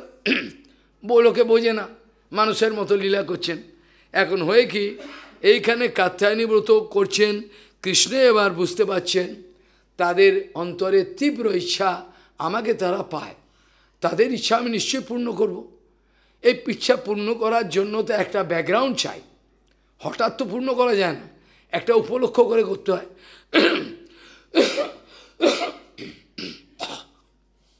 এই জন্য কি করলেন? ভগবান স্তদ অভিপ্রেত্য কৃষ্ণ যোগেশ্বরেশ্বর বয়সই আবৃত স্তত্র গতস্তৎকর্ম সিদ্ধায় তাদের মনোবাঞ্ছা পূর্তি করার জন্য একান্ত অন্তরঙ্গ যে ভক্ত, যেমন সুবল, সুবলের কাছে কোনো লজ্জা নেই, সব কিছু। কয়েকজন আছেন অন্তরঙ্গ, তাদেরকে নিয়ে, সবাইকে নিলেন না। সবাইকে নিলেন না। কেন সুবলের মধ্যে মাধুর্য রসের বোধ আছে, আবার সক্ষর আছে এইসব কথা অনেক গোপন, এদের সামনে বলা যাবে না। এগুলো আলাদা আলোচনা করতে হয়। সুবলের মধ্যে শুধু সক্ষরেই ও মাধুর্যও বুঝতে পারে। ওই জন্য ওকে নিয়ে যান আর কয়েকজনকে নিয়ে ভগবান এবার সেখানে গেলেন। এবার বাচ্চাগুলো কি পাঁচ বছরের বাচ্চা? সব কাপড় চোপড় ফেলে দিয়ে দুম করে জমে ঝাঁপ দিয়েছে। চঞ্চল যেরকম করে আর কি। এবার কৃষ্ণ কি করলেন? লুকিয়ে লুকিয়ে গিয়ে যত কাপড় আছে নিয়ে উপরে উঠলেন। কদম্বে বৃক্ষের উপরে এসে বসে রয়েছেন চুপচাপ। কিচ্ছু বলেন ওরা এবার চান করে উঠে দিয়ে কাপড় গেল কোথায়? সর্বনাশ করেছে। কাপড় ছাড়া বাড়ি যাব কী করে? হয়ে গেল। পরে দেখে ওপরে কাপড় সব ঝুলছে। তখন আর কি করে? কৃষ্ণ এবার বলছেন, তোমাদের ইচ্ছে যদি হয় কাপড় নিতে, তোমরা তো আমাকে সর্বস্ব দেবে বলেছ। তোমরা তো আমাকে আত্মসম তা দেখি তোমাদের আত্মসম। আমি অল্প কথায় বলি লজ্জা ঘৃণা ভয় তিন থাকতে নয়। তোমার লজ্জাটাও দিয়ে দিতে হবে কৃষ্ণ। ওটাও রাখলে হবে না। ওটা কৃষ্ণকে দিতে হবে। কৃষ্ণ আমাদের লজ্জা, ঘৃণা, ভয় সব দিতে হবে। মানে তুমি সর্বস্ব দিয়েছ কিনা? যেমন এটা নন্দনন্দন কৃষ্ণের কথা ছেড়েই দিলাম। দ্বারকাধীশ কৃষ্ণ কি গেছিল? দ্রৌপদীর কাছে গেছিল কি? কেন যায়নি? কেন তখন তো ডাকিনি? কৃষ্ণকে ডাকিনি। আগে অপেক্ষা করছিল, আরে এখানে প্রীতমা ভীষ্ম আছে, সে একটা নিশ্চয়ই বিচার করবে, কাপড় টেনছে, খুলে ফেলবে। অত ডাকিনি কৃষ্ণকে। পরে যখন অসহায় আর কোনো উপায় নেই। তখন যখন কৃষ্ণময় ডাকছেন, তখন কৃষ্ণ সঙ্গে সঙ্গে এসে কাপড় রূপে সরিয়ে যোগে কৃষ্ণ এবার পরীক্ষা করছেন। এটা তার রসিকতা, অনেক গভীর রহস্য আছে। এই এক একটা লীলাকে মাসকাল যাব ধীরে ধীরে এরা রসিক বাক্য ছাড়া কেউ শুনবে না। আমি জড়জগতের কারোর কাছে এসব কথা বর্ণনা করব না। আমি যখন দেখব কার মধ্যে সে যোগ্যতা আছে, প্রাকৃত অবস্থা চলে গেছে তবে এইসব কথা। কি করা যায়? উপায় নেই। এখন এই যে অবস্থা, গোবিন্দ যে তাদের সঙ্গে মজা করছেন, তারা বলছেন, শ্যাম সুন্দর তে দাস্য করবাম তবোদিতম দেহি বাসাংসি ধর্মজ্ঞ নোচেত রাজ্ঞে ব্রুবামহে। ওই শ্যাম সুন্দর, তোমার দাস, তোমার তো আমরা দাসী। তুমি তো জানো, তোমাকে তো সবই দিয়ে দিয়েছি। তা আমাদের কাপড় চোপড় দাও। বলছেন তোমার তোমার দাসী আমরা, চিরকালের দাসী হয়ে গেলাম, শ্যাম সুন্দর। তে দাস্য করবাম তবোদিতম আমাদের দেহি বাসাংসি ধর্মজ্ঞ, তুমি তো ধর্মজ্ঞ। ধর্মজ্ঞ মানে ধর্মজ্ঞ মানেটা কি? আরে ধর্মের মূলাম ধর্মের মূল হচ্ছে ভগবান। এর তো ওরা কথার কথা বলছে ধর্মগতি আর ধর্মজ্ঞ তো সামান্য কথা। ধর্ম মূলামই বিষ্ণু। অনন্ত ধর্ম যেখানে যত ব্রহ্মাণ্ড, হয়তো কৃষ্ণ থেকে এসছে। তাহলে, তা বলছেন, তা যদি না দাও কাপড় চোপড়, আমরা কিন্তু কংসকে বলে দেবো রাজাকে। কৃষ্ণ বলছেন, ঠিক আছে, কংসকে বলবে, বলকে যাও। কে বলবে তো বলো। ভবত ভবত্ব যদি মে দাস্য, ময়োক্তম বা করিষ্যথা। যদি তোমরা যদি বললে আমাকে দাস, আমাকে সব দিয়ে দিয়েছ, তাহলে এখন প্রমাণ দেখি, আমাকে দিয়েছ কি না হ্যাঁ? ভবত্ব এটা সম্মান দিয়ে বলে। ভবত্ব তোমরা সবাই যে আমার দাসী ভবত্ব যদি দাস্য ময়োক্তম বা করিষ্যথা, তোমরা যদি করো, তাহলে এখানে এসো, এসে কাপড় নিয়ে যাও। আমি ওখানে দেবো না, কাপড় নিয়ে যাও। এইভাবে কি হলো? কৃষ্ণ তাদের সর্বস্ব হরণ করে নিলেন, নিয়ে তাদেরকে চরম লাভ অ্যাবসিলিউট লাভ, সেই যেটা অনন্ত ব্রহ্মাণ্ড জুড়ে জন্মগ্রহণ করতে করতে মরতে মরতে যেটা পাওয়া যায় না, কৃষ্ণ তাদেরকে সেই আশীর্বাদ করলেন, সেটা এবং নিজে বলেছেন, নিজে এটা বলেছেন এই কথা। এবার এই একটা কথা আলোচনা অত্যন্ত দরকার। ভগবান বলছেন, দেখো, সংকল্প বিদিত সাধ্য ভবতীনাম মদর্শনম। এখানে অনেকে প্রশ্ন করবেন, কৃষ্ণ কেন এই কথাটা বললেন? সংকল্প বিদিত। আচ্ছা কৃষ্ণ সংকল্প জানেন গোপিকারা কি ভাবনা নিয়ে পুজো করেছে? কাকে পুজো করল? আমি এতক্ষণ কি বললাম? কাত্তায়নীকে কিন্তু কৃষ্ণ বলছেন, তোমরা আমার পুজো করেছ। এবার কে মানেটা কি বুঝবে? হ্যাঁ না না বাস্তবিক পক্ষে এর মানেটা কি? মানেটা হলো এই যে, যদিও বাইরের দৃষ্টিতে দেখা গেছে তারা কাত্তায়নীকে পুজো করেছে।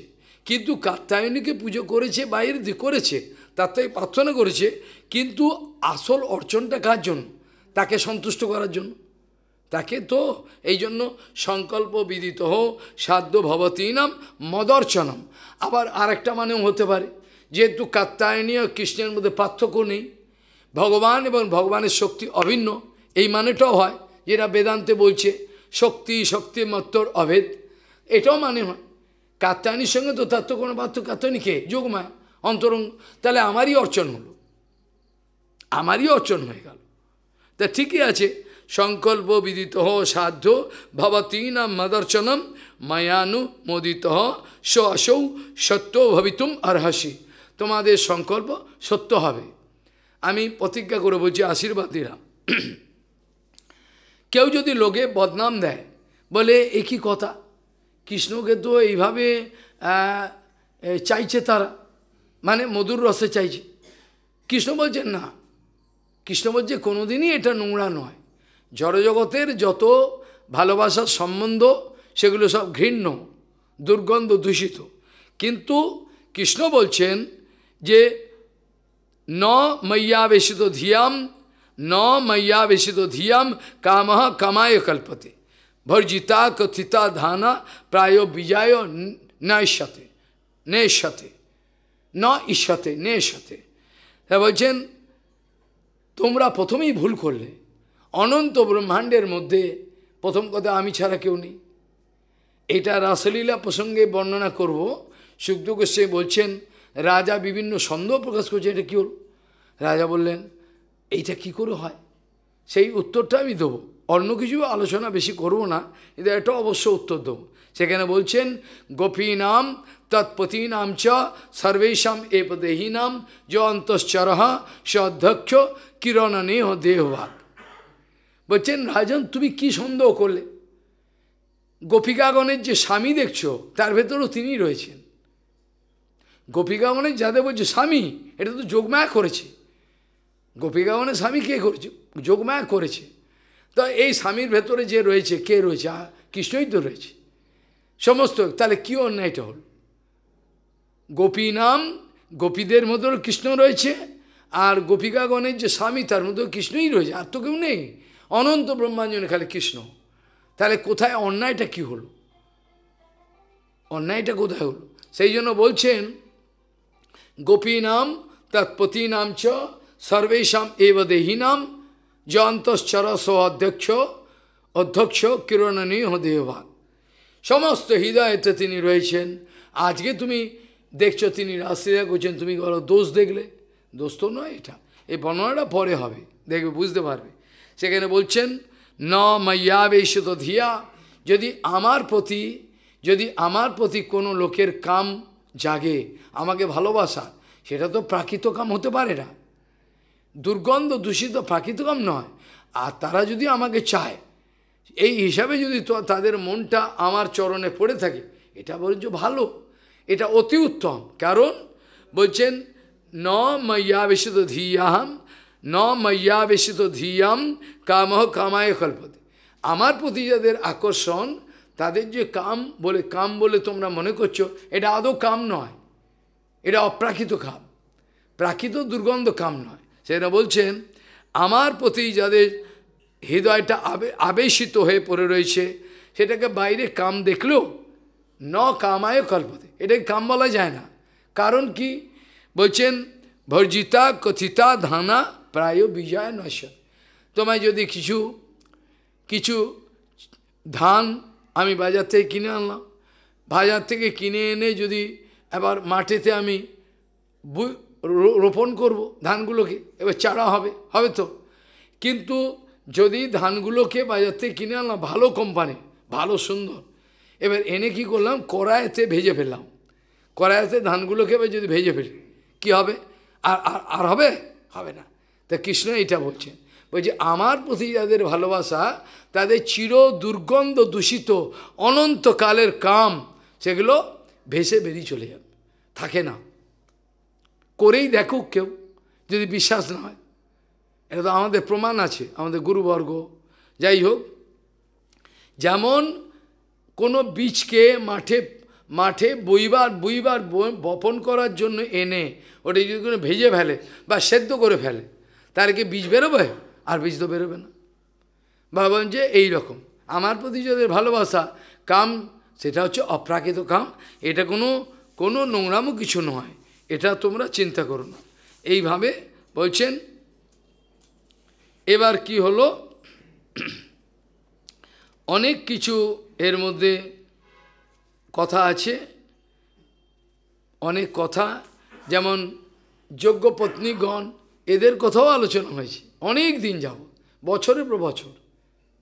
কিন্তু দুঃখিত, বাংলায় হয়নি, আমি কী করব? আর সময়ও ফিরিয়ে আসছে। যাই হোক, এখন যোগ্য পত্নীগণের যোগ্য পত্নীগণ কেবলমাত্র মালিনীর কাছ থেকে শুনেছে কৃষ্ণের গুণ এবং রূপ। ওরা কৃষ্ণকে দেখেনি কোনোদিন। কৃষ্ণ বলরামকে খালি যোগ্য পত্নীগণ কেবল মালিনী যে বাগানে ফুল তুলে মথুরায় গিয়ে বিক্রি করে, গরিব, কিন্তু কৃষ্ণের গান গায়। এই গান শুনতে শুনে মালিনী ভক্ত। এই শুনে তাদের কৃষ্ণকে দেখার জন্য একটা প্রবল আকর্ষণ। আর এরকম একজন থাকতে পারে আমরা কল্পনাই করতে পারে না। একটু যদি দেখতে পেতাম ভালো হতো। এরা আশায় রয়েছেন। অনেক কথা। এবার কৃষ্ণ সবই জানেন। এই যোগ্য যোগ্য পত্নীগণ, যজ্ঞের যে মুনিগণ আছে, তার ঋষিগণ তারা যে আয়োজন করেছে, খাওয়া, দাওয়া, সব যজ্ঞের আয়োজন করেছে। এবার ইচ্ছে করে কৃষ্ণ একটা সখাকে পাঠিয়ে দিয়েছেন। বলে, দেখো, এখানে একটা বড় সত্র হচ্ছে মানে যোগ্য হচ্ছে। এখানে গিয়ে ব্রাহ্মণগণকে বলো, কৃষ্ণ প্রমাণ করতে চাইছেন, আমার ভক্ত কেমন? গিয়ে বলো, কৃষ্ণ বলরাম এসছে, ওদের ক্ষুধা পেয়েছে দুপুরবেলা আজকে খাওয়া দাওয়া সেরম নেই, যদি ওরা দেয়। এবার সখাগণকে পাঠিয়েছে। গিয়ে এবার প্রণাম করে বলছেন, হে যাজ্ঞিক ব্রাহ্মণগণ, আমাদের কৃষ্ণ বলরাম এসছেন ওদের খিদে পেয়েছে, ভোজন করার যদি কিছু দেয়, আমরা তো অনেক প্রসাদ আছে যোগ্য করেছে। ওরা কোনো উত্তরই দিলে না। ওরা কোনো চেয়েও থাকালো না। হ্যাঁ কোথাকার একটা গোয়ালে এসছে। কোনো দেখলই না। কোনো কথা, উত্তর দেব দূরের কথা। এই ভেবে তারা কৃষ্ণের কাছে গিয়ে বলল, দেখো, আমরা গিয়ে বললাম আমার কথা বলেছ হ্যাঁ তোমার কথা বলেছি, কিন্তু ওরা দেখলোই না। এত তুচ্ছ, কোথাকার গোয়ালে এসছে, কে জানে?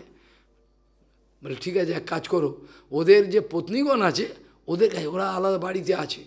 ওখানে গিয়ে বলো, কৃষ্ণ বলরাম এসছে, তোমাদের থেকে প্রসাদাদি চেয়েছে প্রসাদাদি চেয়েছে পত্নীগণের কাছে গিয়ে বলছে, বলতে গেছে, বলার সঙ্গে সঙ্গে বিদ্যুতের মধ্যে লাভিয়ে হ্যাঁ কৃষ্ণ বলরাম এসছে চির আমরা আকাঙ্ক্ষা করছি, কবে এই দুজনকে দেখব? হায় হায়, ঠিক আছে, দাও। বলে সব বড় বড় পাত্রে সব খাওয়া দাওয়া নিয়ে দৌড়ে চলছে। এবং যজ্ঞের ব্রাহ্মণ, এই, কোথায় যাচ্ছ? বাধা দিচ্ছে, যেতে দেবে না। ওরা তো কি করবে? ওরা যাবে, জোর করে যাবে। এবার গিয়ে সেখানে গিয়ে ওদেরকে ভোজন আদি করিয়ে অনেক এইসব কথা, এই যাজ্ঞিক পত্নীগণের কীভাবে সিদ্ধি হলো তারপরে যাজ্ঞিক ব্রাহ্মণগণের মাথা খুলল। মাথা খুলল পরে। ওই যে বলছেন ভূতে পশ্যন্তী বর্বরা। একটা বলেছিলাম বহুপাত বলতেন এই গল্পটা।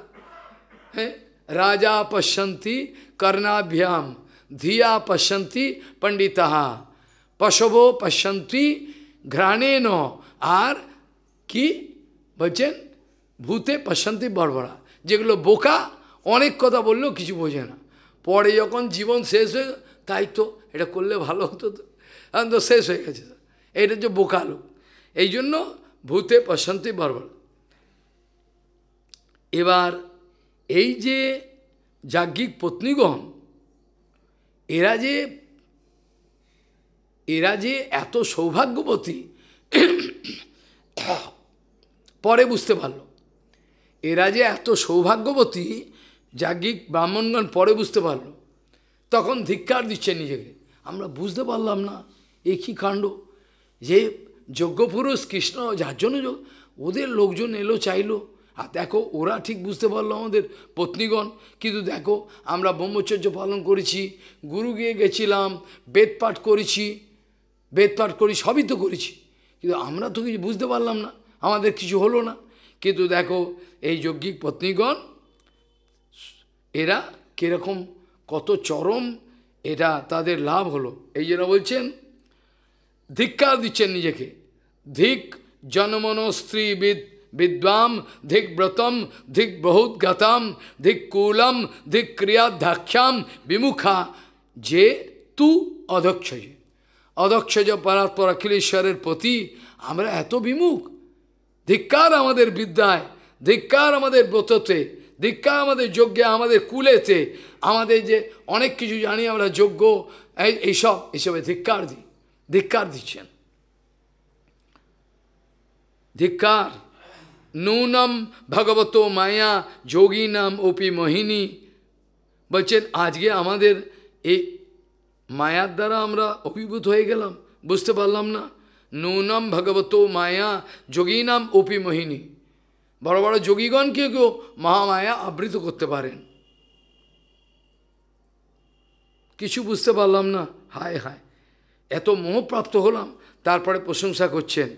অহো পশ্যত, অহো পরে প্রশংসা করছেন।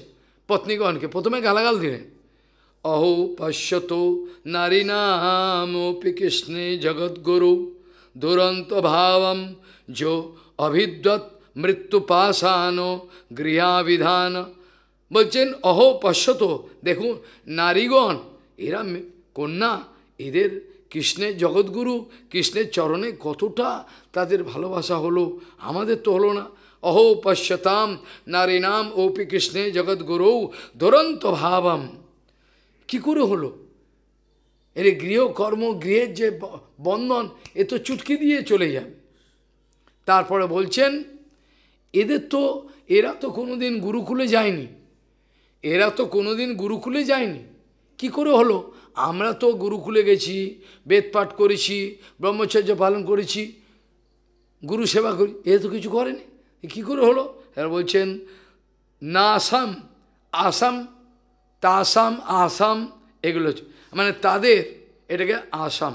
না আসাম দ্বিজাতি সংস্কারও ন নিবাস গুরৌ অপি ন তপ আত্মমীমাংসা ন শৌচম না ক্রিয়া শোভা এরা তো ব্রাহ্মণ দীক্ষা হয়নি এদের এদের পৈতে হয় না মায়েদের এরা কী করে হলো না আসাম দ্বিজাতি সংস্কারও ন নিবাসও ওরা গুরুকুলে গিয়ে থাকেননি গুরু সেবা করেননি তপস্যাও করেননি আত্মমীমাংসা আমরা আত্মমীমাংসা করেছি নেতি নেতি, এগুলো তৎবস্তু এগুলো দিয়ে মাথা খাওয়ালে ডুবে যাব, এগুলো আমরা বিচার করেছি, কিন্তু আমাদের কিছু হলো না। হ্যাঁ? ন তপ, না আত্মমীমাংসা না শৌচম এদের শৌচও নেই। আমরা দিবে তিনবার চান করেছি, পবিত্র হয়ে গায়ে তো কিছু করেনি। এদের কি করে হলো? যোগ্য ব্রাহ্মণ বল বলছেন, তথাপি এগুলো ওরা করেনি। তথাপি হি উত্তম শ্লোকে কৃষ্ণে যোগেশ্বরে স্বরে ভক্তির ধীরা ন চ अस्माकम সংস্কারাদিম সংস্কারাদিম মতামপি আমাদের এত কিছু হওয়া সত্ত্বেও আমাদের কৃষ্ণের চরণে জগৎগুরু কৃষ্ণম বন্দে জগৎ তার চরণে একটুও ভক্তি হলো কিন্তু ওদের হয়ে গেল দেখো এবার বলে অনেক প্রার্থনা করলেন ভগবানকে এবার কি হলো গোবর্ধন পূজার প্রসঙ্গ আসছে, এটা কিছু অল্প কথায় বলতে হবে। প্রসঙ্গ কমে গিরিরাজ পূজার দিনেতে অল্প কিছু কথা বলেছিলাম। গিরিরাজ পূজার প্রবর্তন করলে পরে জগতে চরম মঙ্গল হবে, এই ভাবনা করে কৃষ্ণ এক অপূর্ব লীলা করলেন। এই বাবা নন্দ বাবা, উপানন্দ, এরা জ্যেষ্ঠ ব্যক্তি কেন ইন্দ্র পূজা করেন? তুমি সব ভগবান, তুমি সবই জানেন। ইচ্ছা করে ইন্দ্র পূজার অনেক যাগযোগ করেছেন, গিয়ে এবার যাচ্ছেন ইন্দ্রকে পূজা দেবেন। এই সময়তে কৃষ্ণ বলরাম তাদের কাছে প্রশ্ন করলেন, বাবা, কথ্যতাম মে পিত কো আয়ম সম্ভ্রম বা উপা আপনারা এত ব্যস্ত হয়ে পড়লেন কেন? কি কি আয়োজন করবেন? কিসের? বলছে, আমরা কি উদ্দেশ্য, কি ফল পাওয়া যায়? আপনি যে যোগ্য ভোগ্য এইসব রান্নাবাড়ি করে নিয়ে যাচ্ছেন, কি কি হবে? এটাতে কি ফল হয়? আপনারা তো সাধু ব্যক্তি, আমাদের কাছে কি বলতে আপত্তি আছে? তাই যদি না থাকে আমরা ছোট, আর নাও বলতে পারেন। যদি মনে করেন বললে কোনো ক্ষতি নেই, তাহলে একটু বলুন না, কি হয়? আমরা তো ছোট। এবার বলে, এবার নন্দবাবা বলছেন, দেখো বাবা পর্জন্য ভগবান ইন্দ্র মেঘাস্তাস্য মূর্ত হ্যাঁ মূর্তয় মেঘগুলো হলো ইন্দ্রের প্রতিমূর্তি বৃষ্টি দেয় আর আমরা কৃষিজীবী। আমরা চাষবাস করে খাই গোপারণ গোচারণ করাই। যে এখানে যদি সঠিক বৃষ্টি না হয়, তাহলে শস্য আদি হবে না, আর ঘাসও হবে না, তাহলে গৌমাতা চারণ হবে না, ওই জন্য আমরা প্রতি বছর করি। কৃষ্ণ তখন শোনবার পরে বলছেন, পিতা, এই কথাটা শুনলাম বটে আপনার কাছ থেকে, কিন্তু আমাকে বুঝিয়ে দিন, কৃষ্ণ কোথাকার কে এলেন যে আপনার এই যে, আপনার যে কর্মফল এটাকে তো কেউ ভঙ্গ করতে পারবে না। ইন্দ্র, বরুণ, কাউরই ক্ষমতা নেই, কাউর কর্মফলকে ধ্বংস করে। তো কর্মফল, আপনার কর্মফল আপনি পাবেন। তো এর জন্য ইন্দ্রকে এতটা ভয় পাওয়ার কি আছে? এটা তো বুঝতে পারছি না। এই জন্য বলছেন, কর্ম না জয়তে জন্তু, কর্মেন নৈব বিলীয়তে, সুখম দুঃখম ভয়ম ক্ষেমম, কর্মেন নৈব অবিপত্তদে তে কর্মের দ্বারাই তো জীব তার যে কর্ম করে, সেটি তো ফল তা আপনার কাছে শুনছি, ইন্দ্র নাকি একটা বড় অধিকারী ব্যক্তি, সে নাকি আপনার কর্মফলটাকে, তো আমার তো বুঝতে পারছি না কারণটা কি। কিন্তু তো কিছু করার নেই, আপনার কর্মফল আপনি পাবেন। তো ঈশ্বর যদি একজন থাকে অস্তি চেদ ঈশ্বর, কশ্চিৎ ফল রূপাণী অকর্মণাম। কর্তারম ভজতে সো ওপি নহি অকর্তুহু প্রভুর হিস যদি আপনাদের কথা মেনে নিই নিজে কর্মে নির্লিপ্ত থেকে অন্যজীবের কর্মফল দাতা কোনো ঈশ্বর যদি থাকেন তিনি হচ্ছেন পরমাত্মা রূপে সবার হৃদয়তে বিরাজমান রয়েছেন প্রত্যেক জীবের ক্রিয়াকর্ম পরমাত্মা রূপে তিনি লক্ষ্য করছেন। আমার কর্মফল আমাকে ভগবান দেবে, তোমার কর্মফল দেবেন। পিতা, মাতা ভাই, বন্ধু, স্বামী কেউই দেবে না। কর্মফল তোমার নেবে না। তোমার কর্মফল তোমাকেই ভোগ করতে হবে। তোমার কর্মফল তোমাকেই ভোগ করতে হবে। তো কী করবে? এই জন্য বলছেন যে, কর্মফল কেউ কার ভোগ করে না। অবশ্যমেব ভক্তব্য। কৃতকর্মম শুভাশুভম। শুভাশুভ কর্ম, তোমার কর্ম তোমাকেই ভোগ করতে হবে। তোমার সঙ্গে তো কারোর আত্মীয়তা নেই। তুমি তো ইচ্ছে করে আত্মীয় বানিয়েছ। তোমার কার সঙ্গে আত্মীয়তা আর যদি আমি বলি, এখন যে বসে কথা বলা হচ্ছে, একশো বছর পরে পৃথিবীর যত জনসংখ্যা, তারা কি থাকবে? কেউ থাকবে না। নতুন এবার উঠবে। যেমন ঢেউ উঠছে, এরকমভাবে নতুন এরকম উঠছে। কল্পনা করে দেখুন, যার আয়ু যদি একশো বছর হয়, আজ থেকে একশো বছর পরে সমস্ত মানুষ মাটির তলায় মিলিয়ে যাবে। তারপর নতুন মানুষ এবার আসবে। সমস্ত নতুন। পুরনো কেউ থাকবে না। এইটি নিয়ম জগতের, কেউ থাকে না। চলে যেতে হবে আমাদের। যাবার আগে বুদ্ধিমান ব্যক্তি আসল কাজটা সেরে নেবে। মূর্খের মতো সময় নষ্ট করে লাভ নেই। তাহলে এবার এইভাবে বোঝাচ্ছেন, বলছেন, দেখুন, এই ব্রজমণ্ডলের মধ্যে গিরিরাজ মহারাজের অবদান তো, এটা তো আপনি জানেন। বাবাকে বলছেন, এই গিরিরাজের অবদান তো আপনি জানেন। এই গিরিরাজ কী না করে? গিরিরাজ মেঘকে টেনে নিয়ে আসে, পর্বত মেঘকে টানে। পর্বত অনেক কাজ করে। পর্বত ভূমি ল্যান্ডস্লাইড থেকে বাঁচায়। ভূমি যে জলের তলায় চলে যায়, পর্বত গাছপালা এগুলোকে বাঁচায়। তো পর্বত মেঘকে ডেকে আনে। তারপর এই যে গিরিরাজ, আমরা, আপনি জানেন, এরা কি না কি অপূর্ব সব দিচ্ছেন। ফল, ফুল, কন্দমূল, ঝর্ণা, গোমাতাগুলো চড়ে। তো এই গিরিরাজ মহারাজ আমাদের ঔষধি, কত ঔষধ পাওয়া যায়। তো গিরিরাজ মহারাজকে আপনি অর্চন না করে আপনি ইন্দ্রকে পুজো করবেন কি ব্যাপার? গিরিরাজকে পুজো করলে আমার মনে হয় ভালো হয়। এই সমস্ত ব্যাপার শোনবার পর এবার ব্রজবাসীরা এবার চিন্তা করল যে বাচ্চা হলেও অনেক কথা আছে যেগুলো আমি বলতে পারলাম না। বেদান্তের ব্যাখ্যা। বেদান্তের ব্যাখ্যা আছে, ইন্দ্র, কৃষ্ণ বলছেন বলছেন দেখুন যদি সত্যি আপনারা কৃতজ্ঞ হন, তাহলে গিরিরাজ কাছে আমরা কৃতজ্ঞ। সমস্ত ব্রজবাসী আমরা গিরিরাজ কাছে কৃতজ্ঞ। একে পুজো করলে ভালো হয়, এ অনেক কিছু দেন। আর সেই সময় নন্দবাবা যশোমা ওরা বলল, ঠিকই বলেছে, হতে পারে ছোট ছেলে। বলেছে কথাটা মন্দ না ঠিক আছে, তোমার কথাটা আমি ইন্দ্র পূজা করব না। এই বলছেন, যা ইন্দ্রের জন্য পূজার ব্যবস্থা, ওইটা দিয়ে গিরিরাজ পুজো করুন। এবার গিরিরাজের পুজো হচ্ছে আনন্দে। এবার যত কিছু পিঠে পানা, পরমান্ন সব বানিয়েছে একবারে, থোড়ো থোড়ো সব সাজিয়েছে। করে এবার কি হলো? ইন্দুকে পুজো করল। ইন্দুকে পুজো করার সময় ব্রজবাসীরা দেখছে ব্রজবাসীরা দেখছে, ওই দেখো, এ আমাদের কৃষ্ণ নয়? গিরিরাজিকে, গিরিরাজের মুখে কৃষ্ণকে দেখতে পাচ্ছি। বলে, এই আমাদের সখা মানে এই খাচ্ছে সব। এবার বলছে, তোদের আর কি আছে? নিয়ে আয়, নিয়ে আর কি আছে? এবার ডাকছে। এই জন্য ওই গ্রামের নাম হচ্ছে আনোর। আনোর গ্রাম শুনেছেন? আনোর। ওই গোবিন্দকুণ্ড যেখানে আছে। আনো, আনোর মানে হলো আনো অর। বেশি করে আরও আনো। আর কি আছে তোদের? দে দে দে। আর কি আছে? আর কি আছে দে? ওই জন্য কি এনেছিস? এইটা। আনোর। নাম হয়ে গেছে আনোর। তাহলে কৃষ্ণর লীলাটা যে কত বাস্তব, সেটা চিন্তা কর। এবার তারা এবার গিরিরাজ পূজা করে গিরিরাজে পরিক্রমা করল। এবার এদিকে ইন্দ্র রেগে বোম। ইন্দ্র বলছে, এই একটা গ্রামের ছেলে হ্যাঁ গোয়ালার ছেলে বেটা, আরে আমাকে আমার পুজোটা বন্ধ করে দিল। হ্যাঁ এ কি ব্যাপার? এটা সামান্য গোয়ালা ছেলে আমার পুজো বন্ধ করে জানে না আমি কে? ও বুঝতে পারছে না কৃষ্ণ। ঠিক আছে বেড়া দা হ্যাঁ কৃষ্ণম মর্তম উপাস্য হ্যাঁ উপাশ্রিত।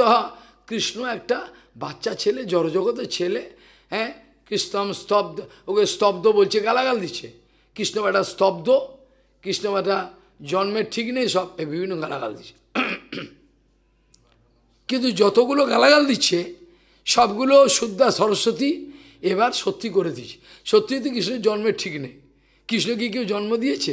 কৃষ্ণ অনাদি আদি ও গালাগাল দিচ্ছে, কিন্তু সত্যি হয়ে যাচ্ছে। সরস্বতী ওর মুখে সত্যি বলছে। স্তব্ধ কথাটার মানে কি?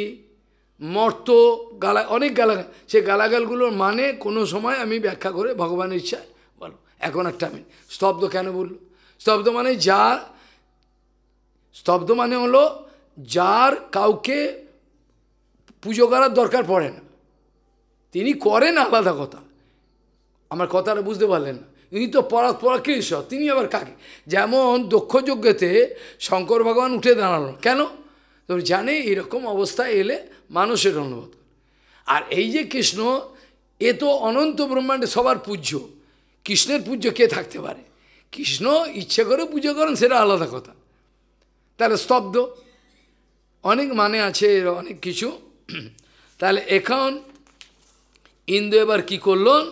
এবার তার যে বিভিন্ন মেঘ, তাদেরকে ডেকে বলো প্রলয়, বলছে প্রলয়কালের প্রলয়কালের বৃষ্টি শুরু কর। বলছে প্রলয়কালে যেরকম হয়, সেরকম শুরু কর বেটা। যেমন এগুলো সব গল্প শুনছে। কেদারনাথে হলো না? বারো পনেরো বছর আগে ধুয়ে মুছে দিল। আমি গেছিলাম, ওই সব আশ্রমে ছিলাম, পাহাড়ে, পর্বতে। ওরে বাবা কিছু নেই, সব চলে গেছে। মহাদেব একবার সব সব একবার মুছে দিয়েছেন বেটা। কত বদমাইশি করবি, কর। কত তোর ক্ষমতা দেখি, সব মুছে দিয়েছে একবার। কিচ্ছু নেই আর। তাহলে শঙ্কর ভগবান মুছে দিয়েছে।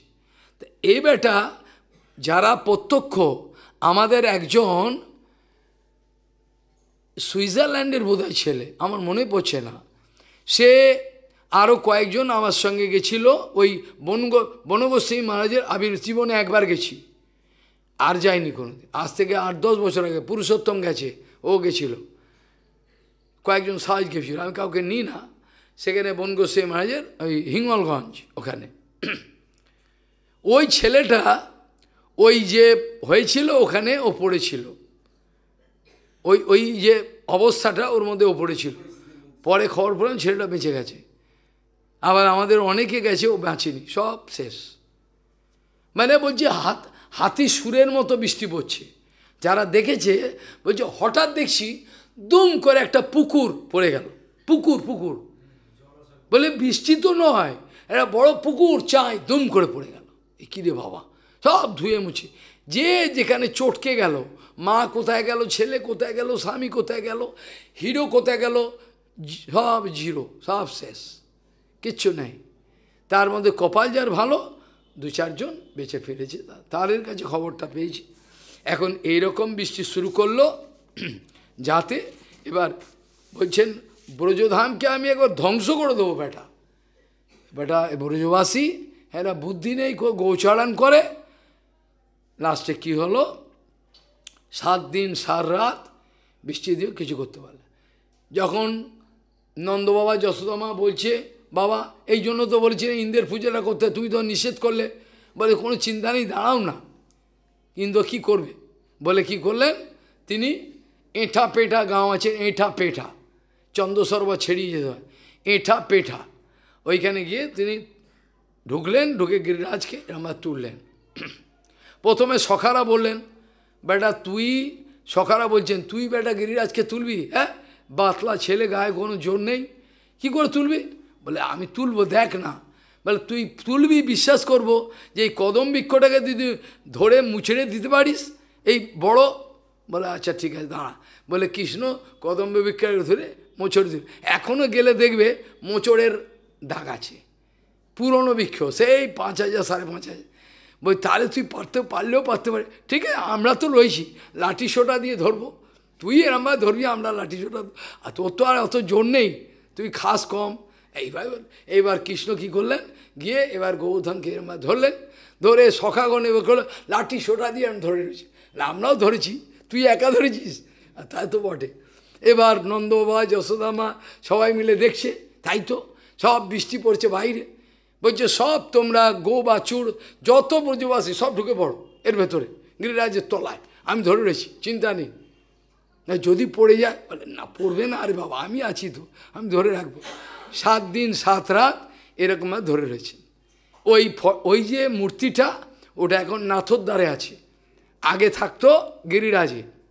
যেটা মাধবন্দপুরী আবিষ্কার করেছেন। ওটা এখন চলে গেছে নাথর দ্বারে এখন এইভাবে ধরে সাত দিন, সাত রাত অনর্গল বৃষ্টি দিয়ে বিদ্যুৎ, বজ্রপাত কিছু করতে পারলাম ইন্দ্র পাগল হয়ে গেল বলে, এ কী রে বাবা? এ কত দেখলাম? কিছু করতে পারলাম না? নিশ্চয়ই তাহলে কিছু একটা ব্যাপার আছে। বলে কি করল? ইন্দ্র এবার মাথা নিচু করে আস্তে আস্তে কৃষ্ণের কাছে এলো। এলো, এ তো সাত দিন, সাত রাত, এত বড় গিরিরাজকে ধরে রয়েছে। তো সামান্য বাচ্চা হবে না। আমি তো গালিগালাজ করলাম, সবই করলাম, কিন্তু ফলে তো দেখছি, এখন যদি কেউ বলে, কৃষ্ণ রাস করেছিল, আমিও করব। আমি ঠিক আছে, তোকে একটা পাঁচ কেজি পাথর দেবো, তুই ওটা ধরে রাখ, পাঁচ মিনিট, পাঁচ কেজি পাথর পারবি ধরে রাখতে? ছাগল কোথাকার? কৃষ্ণ, বলে, কৃষ্ণ অনন্ত ব্রহ্মাণ্ডের মালক, মালিক তার সঙ্গে কম্পিটিশান করবে। যাই হোক, এখন ইন্দ্র এসে এবার কাঁদতে আরম্ভ করল। যা হয়েছে ভুলে যান। যা হয়েছে হয়েছে। যা হয়েছে হয়েছে, এবার যাও, ক্ষমা করুন। আমি কি করব, আর হয়ে গেছে? অন্যায় হয়ে গেছে আমার। বলছেন, আমি বুঝতে পারিনি। সে বলছেন, বিশুদ্ধ সত্যম তবধাম শান্ত্যম তপোময়ম ধস্তরজস্তমস্কম মায়াময়ো অয়ম গুণ সম্প্রবাহ ন বিদ্যতে তে গ্রহণানুবন্ধ। কুতনু বলছে অনেক শ্লোক, যাই হোক। আপনি আমার পিতা, আপনি আমার সর্বস্ব, আপনার থেকে তো জগৎ এসছে। যা আমি নয় ভুল করে ফেলেছি, আপনি ক্ষমা করুন। নমস্তুভ্যাম ভগবতে পুরুষায় মহাত্মনে, বাসুদেবায় কৃষ্ণায় সত্যতাম পতয়ে নমঃ। এইভাবে বলছেন। স্বচ্ছন্দ পাত্র দেহায় বিশুদ্ধ জ্ঞান মূর্তয়ে সর্বস্মৈ সর্ববীজায় সর্বভূতাত্মনে নমঃ। এইভাবে কত লাস্টে কৃষ্ণ সন্ত অল্প স্তব। কালকে বলেছিলাম না, কৃষ্ণ অল্প স্তব করে খুশি হয়ে গেল। কিন্তু ব্রহ্মা করছেন কৃষ্ণ এরমভাবে বসে রয়েছে, কিছু বলে না। এত স্তব করার পর তারপরে সন্তুষ্ট। কারণ ব্রহ্মা যা করেছিল, সেটা কৃষ্ণের ইচ্ছার বিরুদ্ধে। সখাগণকে, আমার আপনজনকে দূরে সরিয়ে দিলে কিন্তু ইন্দ্র বদমাইশি করেছিল। তার ফলেতে ব্রজবাসীরা তাদের ইচ্ছে ছিল, কৃষ্ণকে আমরা সর্বক্ষণ দেখব। কৃষ্ণকে আমরা সর্বক্ষণ এমন সময় কি হবে? হয় না। ও গোচারণ চলে যায়, এদিক ওদিক চঞ্চল। বলে এমন একটা সুযোগ হলো, কৃষ্ণ ধরে সবাই কৃষ্ণের দিকে তাকিয়ে রয়েছে। এবার সবার ইচ্ছা পূর্ত হলো। এইবার কৃষ্ণ, এবার ইন্দ্রকে বলছেন, ইন্দ্র, যা হয়েছে হয়েছে।